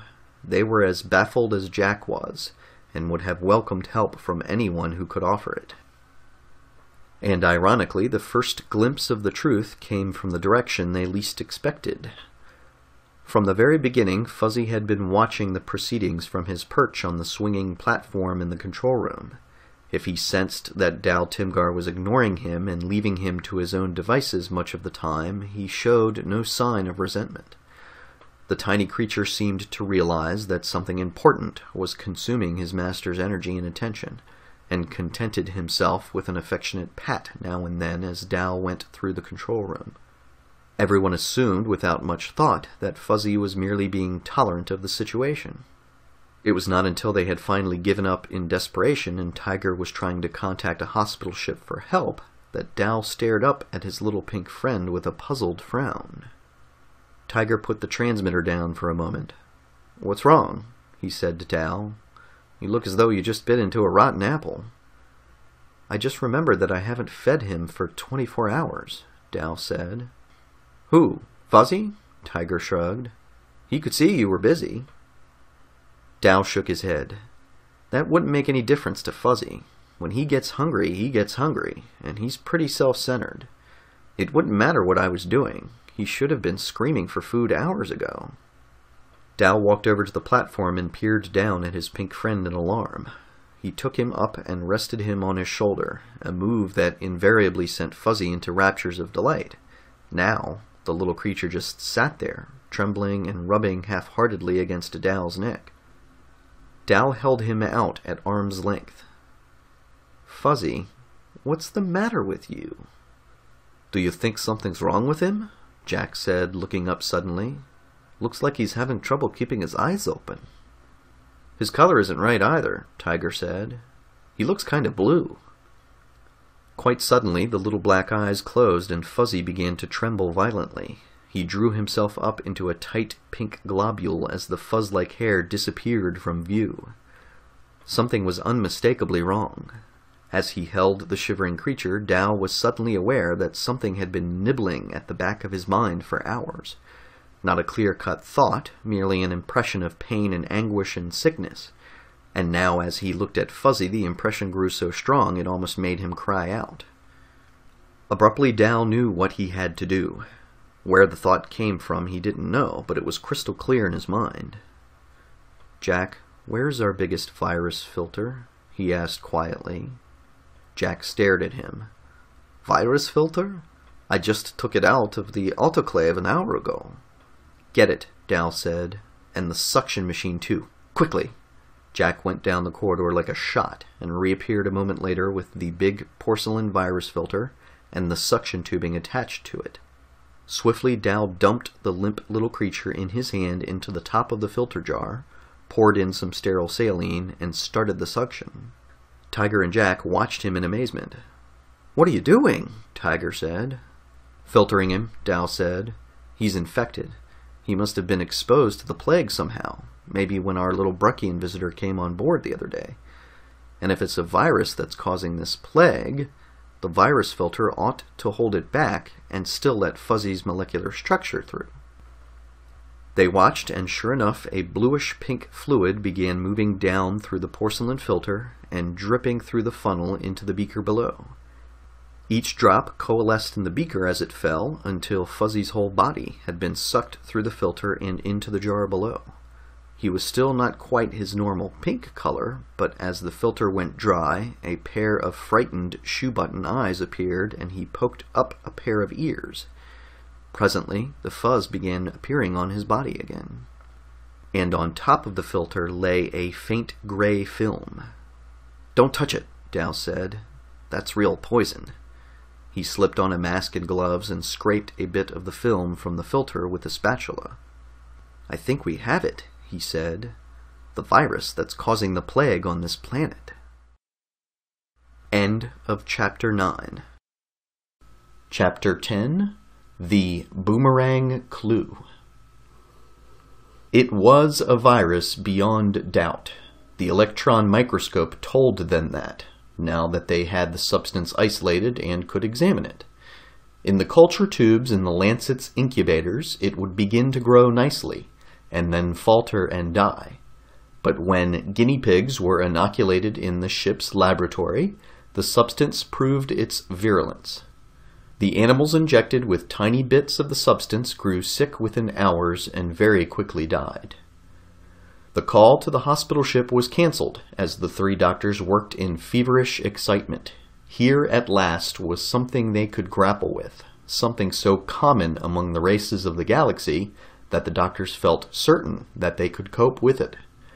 Very few, if any, higher life forms existed that did not have some sort of submicroscopic parasite afflicting them. Bacterial infection was a threat on every inhabited world, and the viruses, the tiniest of all submicroscopic organisms, were the most difficult and dangerous of them all. And yet, virus plagues had been stopped before, and they could be stopped again. Jack radioed down to the planet's surface that the diagnosis had been made. As soon as the proper medications could be prepared, the doctors would land to begin treatment. There was a new flicker of hopefulness in the Bruckian's response, and an appeal to hurry. With renewed energy, the doctors went back to the lab to start working on the new data. But trouble continued to dog them.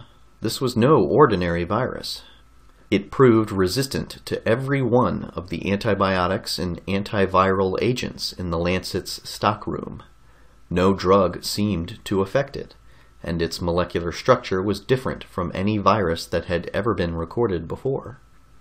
If one of the drugs would only just slow it up a little, we'd be ahead, Tiger said in perplexity. We don't have anything that even touches it, not even the purified globulins. What about antibodies from the infected people? Jack suggested. In every virus disease I've ever heard of, the victim's own body starts making antibodies against the invading virus. If enough antibodies are made fast enough, the virus dies and the patient is immune from then on. Well, these people don't seem to be making any antibodies at all, Tiger said. At least not as far as I can see. If they were, at least some of them would be recovering from the disease. So far, not a single one has recovered once the thing started. They all just go ahead and die. I wonder, Dal said, if Fuzzy had any defense. Jack looked up. How do you mean? Well, Fuzzy was infected, we know that. He might have died, too, if we hadn't caught it in time, but as it worked out, he didn't. In fact, he looks pretty healthy right now. That's fine for Fuzzy, Jack said impatiently, but I don't see how we can push the whole population of 31 Brucker 7 through a virus filter. They're flesh and blood creatures. That's not what I mean, Dal said. Maybe Fuzzy's body developed antibodies against the virus while he was infected. Remember, he doesn't have a rigid body structure like we do. He's mostly just basic protein, and he can synthesize pretty much anything he wants to or needs to. Jack blinked. It's an idea, at least. Is there any way we can get some of his body fluid away from him? Without getting bit, I mean? No problem there, Dal said. He can regenerate pretty fast if he has enough of the right kind of food. He won't miss an ounce or two of excess tissue. He took a beaker over to Fuzzy's platform and began squeezing off a little blob of pink material. Fuzzy seemed to sense what Dal wanted. Obligingly, he thrust out a little pseudopod, which Dal pinched off into the beaker. With the addition of a small amount of saline solution, the tissue dissolved into thin pink suspension. In the laboratory, they found two or three of the guinea pigs in the last stages of the infection and injected them with a tiny bit of the pink solution. The effect was almost unbelievable. Within 20 minutes, all of the injected animals began to perk up, their eyes brighter, nibbling at the food in their cages, while the ones that had not been injected got sicker and sicker. Well, there's our answer, Jack said eagerly. If we can get some of this stuff injected into our friends down below, we may be able to protect the healthy ones from getting the plague. And cure the sick ones as well, if we still have enough time, that is. They had landing permission from the Bruckian spokesman within minutes, and an hour later, the Lancet made an orderly landing on a newly repaved landing field near one of the central cities on the seventh planet of 31 Brucker. Tiger and Jack had obviously not exaggerated the strange appearance of the towns and cities on this plague-ridden planet, and Dal was appalled at the ravages of the disease that they had come to fight.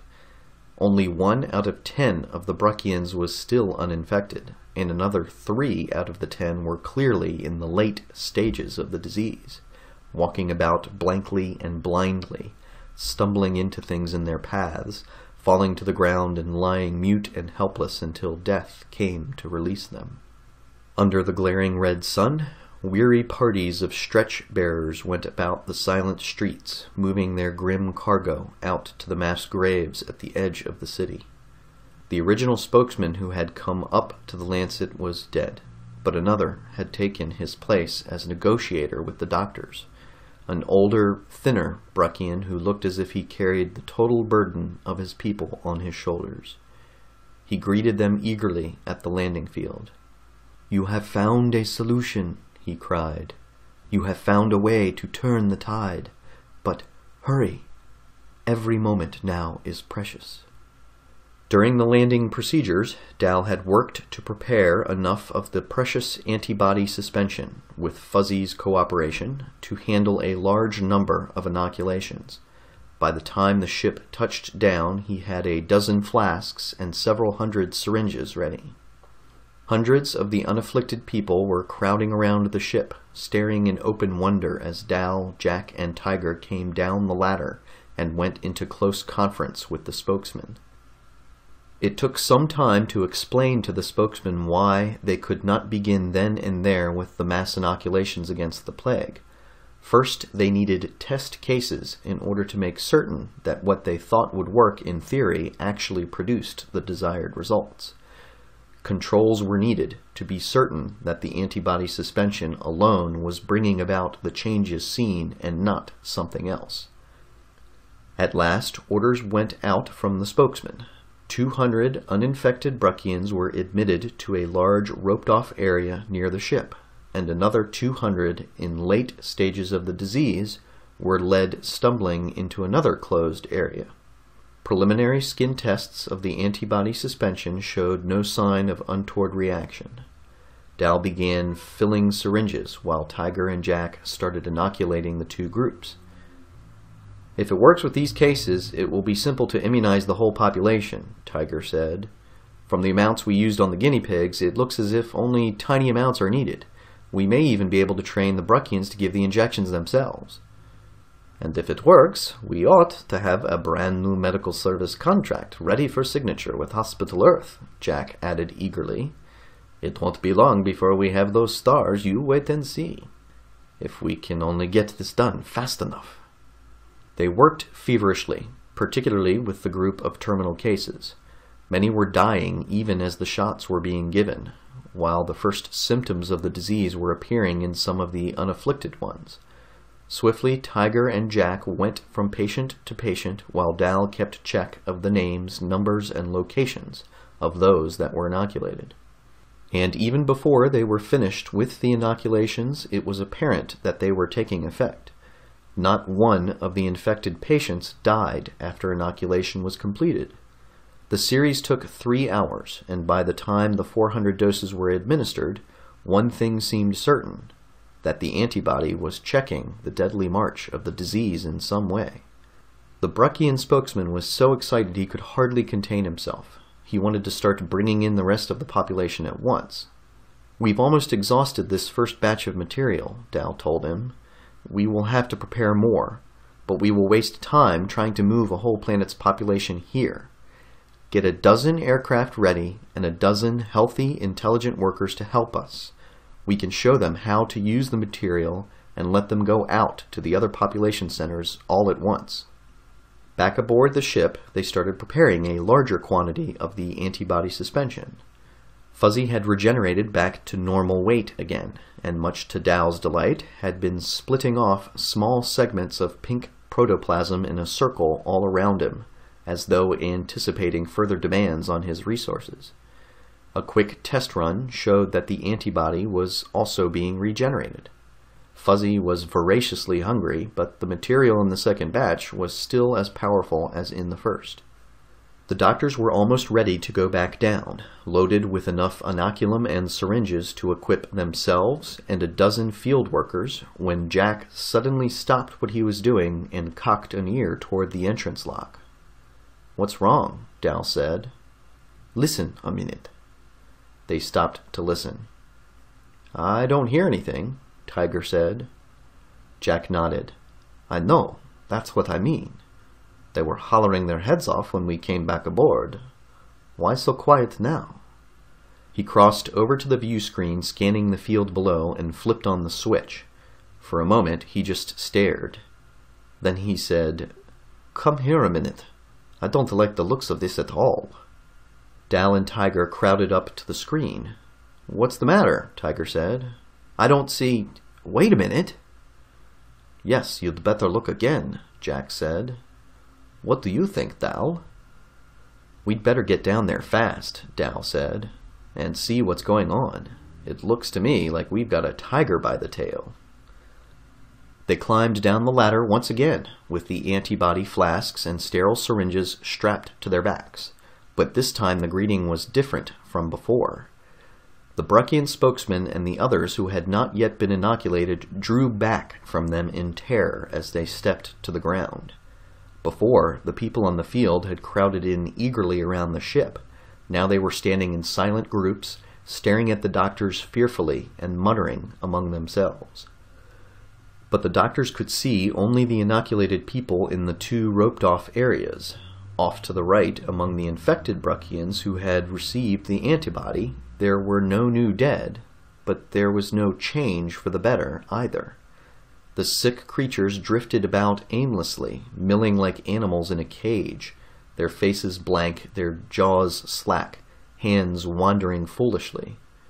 Not one of them had begun reacting normally not one showed any sign of recognition or recovery.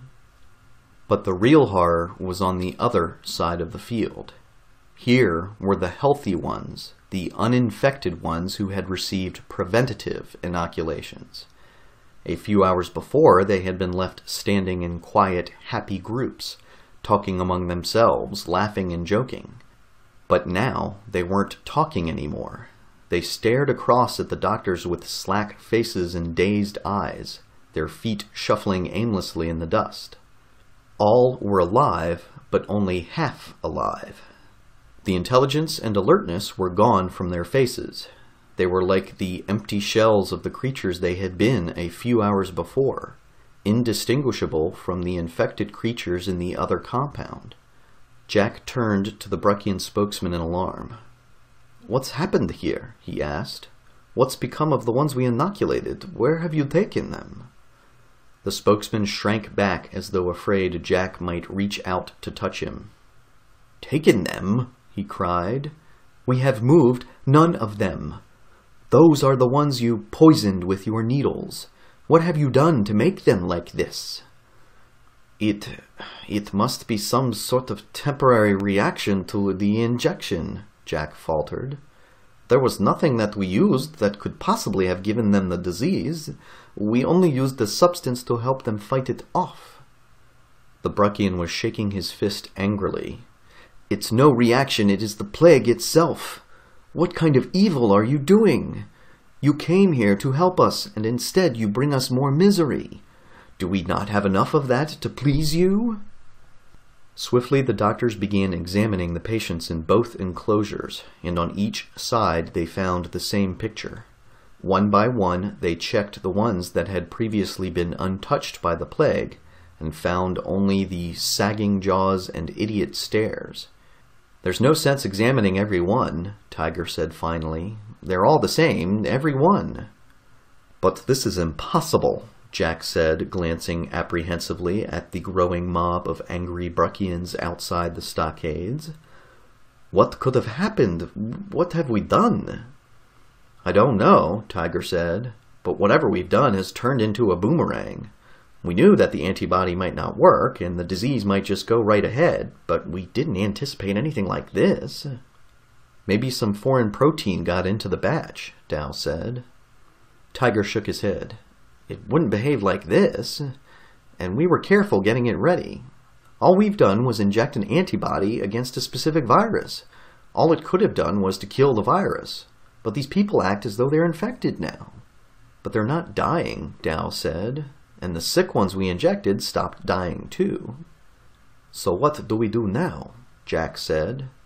Get one of these that changed like this aboard ship and go over him with a fine-toothed comb. We've got to find out what's happened. He led one of the stricken Bruckians by the hand like a mindless dummy across the field toward the little group where the spokesman and his party stood.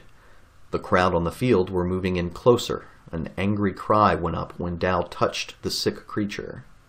You'll have to keep this crowd under control, Dal said to the spokesman. We're going to take this one aboard the ship and examine him to see what this reaction could be.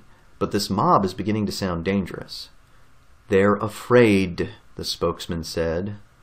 They want to know what you've done to them, what this new curse is that you bring in your syringes. It's not a curse, but something has gone wrong. We need to learn what in order to deal with it. The people are afraid and angry, the spokesman said. I don't know how long I can control them. And indeed, the attitude of the crowd around the ship was very strange. They were not just fearful, they were terrified. As the doctors walked back to the ship, leading the stricken Bruckian behind them, the people shrank back with dreadful cries, holding up their hands as if to ward off some monstrous evil. Before, in the worst throes of the plague, there had been no sign of this kind of reaction. The people had seemed apathetic and miserable, resigned hopelessly to their fate, but now they were reacting in abject terror it almost seemed that they were more afraid of these walking shells of their former selves than they were of the disease itself. But as the doctors started up the ladder toward the entrance lock, the crowd surged in toward them with fists raised in anger. We'd better get helping fast, Jack said as he slammed the entrance lock closed behind them. I don't like the looks of this a bit. Dal, we'd better see what we can learn from this poor creature here. As Tiger headed for the earphones, Dal and Jack went to work once again, checking the blood and other body fluids from the stricken Bruckian. But now, incredibly, the results of their tests were quite different from those they had obtained before. The blood sugar and protein determinations fell into the pattern they had originally expected for a creature of this type. Even more surprising, the level of the antibody against the plague virus was high far higher than it could have been from the tiny amount that was injected into the creature. They must have been making it themselves, Dal said. And our inoculation was just the straw that broke the camel's back. All of those people must have been on the brink of symptoms of the infection, and all we did was add to the natural defenses they were already making.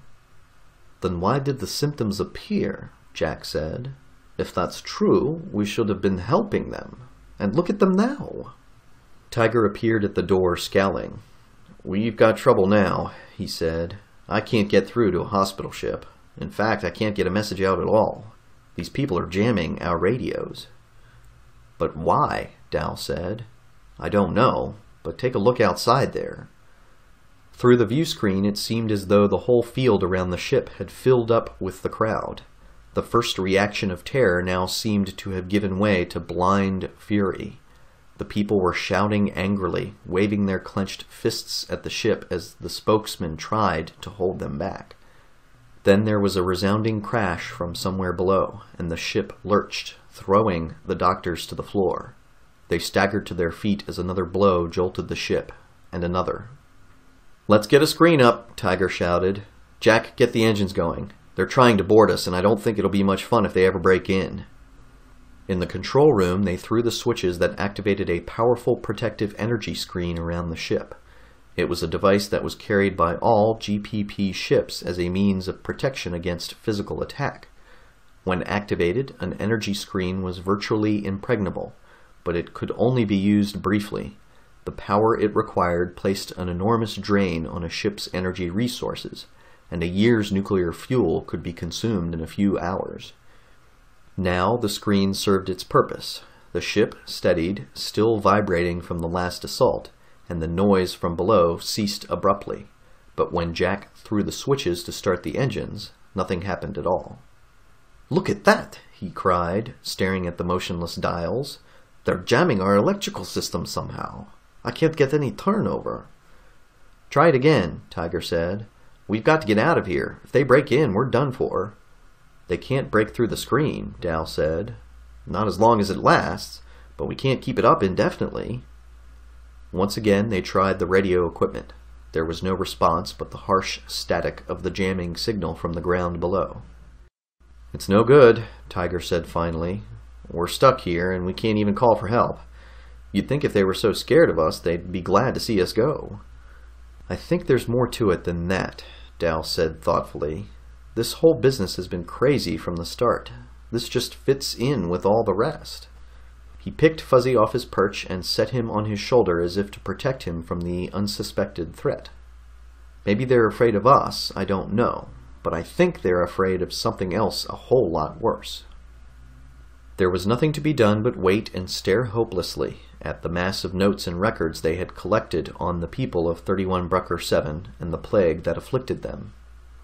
Until now, the Lancet's crew had been too busy to stop and piece the data together, to try to see the picture as a whole. But now there was ample time, and the realization of what had been happening here began to dawn on them. They had followed the well established principles step by step in studying these incredible people, and nothing had come out as it should.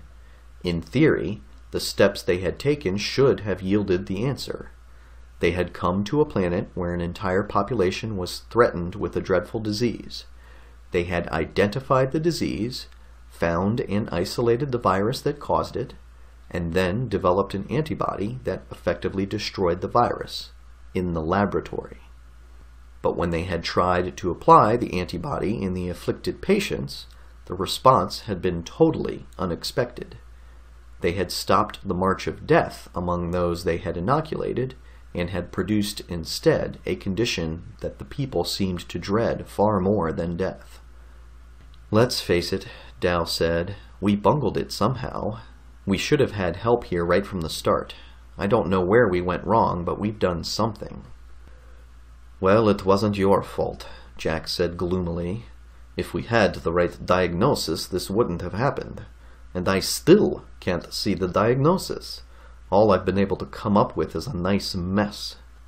We're missing something, that's all, Dal said. The information is all here. We just aren't reading it right, somehow. Somewhere in here is a key to the whole thing, and we just can't see it.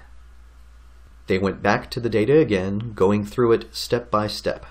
This was Jack Alvarez's specialty, the technique of diagnosis, the ability to take all the available information about a race and about its illness and piece it together into a pattern that made sense. Dal could see that Jack was now bitterly angry with himself, yet at every turn he seemed to strike another obstacle, some fact that didn't jibe, a missing fragment here, a wrong answer there. With Dal and Tiger helping, he started back over the sequence of events, trying to make sense out of them, and came up squarely against a blank wall. The things they had done should have worked. Instead, they had failed. A specific antibody used against a specific virus should have destroyed the virus or slowed its progress, and there seemed to be no rational explanation for the dreadful response of the uninfected ones who had been inoculated for protection. And as the doctors sifted through the data, the Bruckian they had brought up from the enclosure sat staring off into space, making small noises with his mouth and moving his arms aimlessly. After a while, they led him back to a bunk, gave him a medicine for sleep, and left him snoring gently. Another hour passed as they pored over the notes, with Tiger stopping from time to time to mop perspiration from his forehead. All three were aware of the moving clock hands, marking off the minutes that the force screen could hold out. And then Dal Timgar was digging into the pile of papers, searching frantically for something he could not find. That first report we got, he said hoarsely. There was something in the very first information we ever saw on this planet.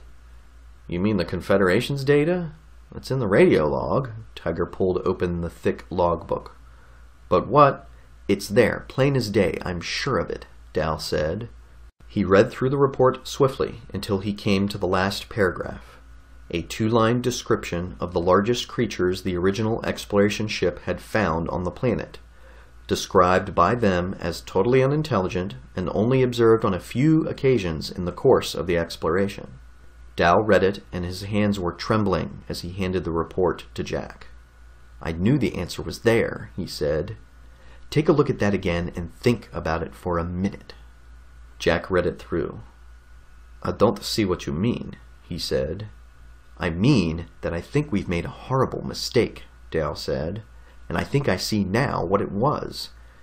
We've had this whole thing exactly 100% backward from the start, and that explains everything that's happened here.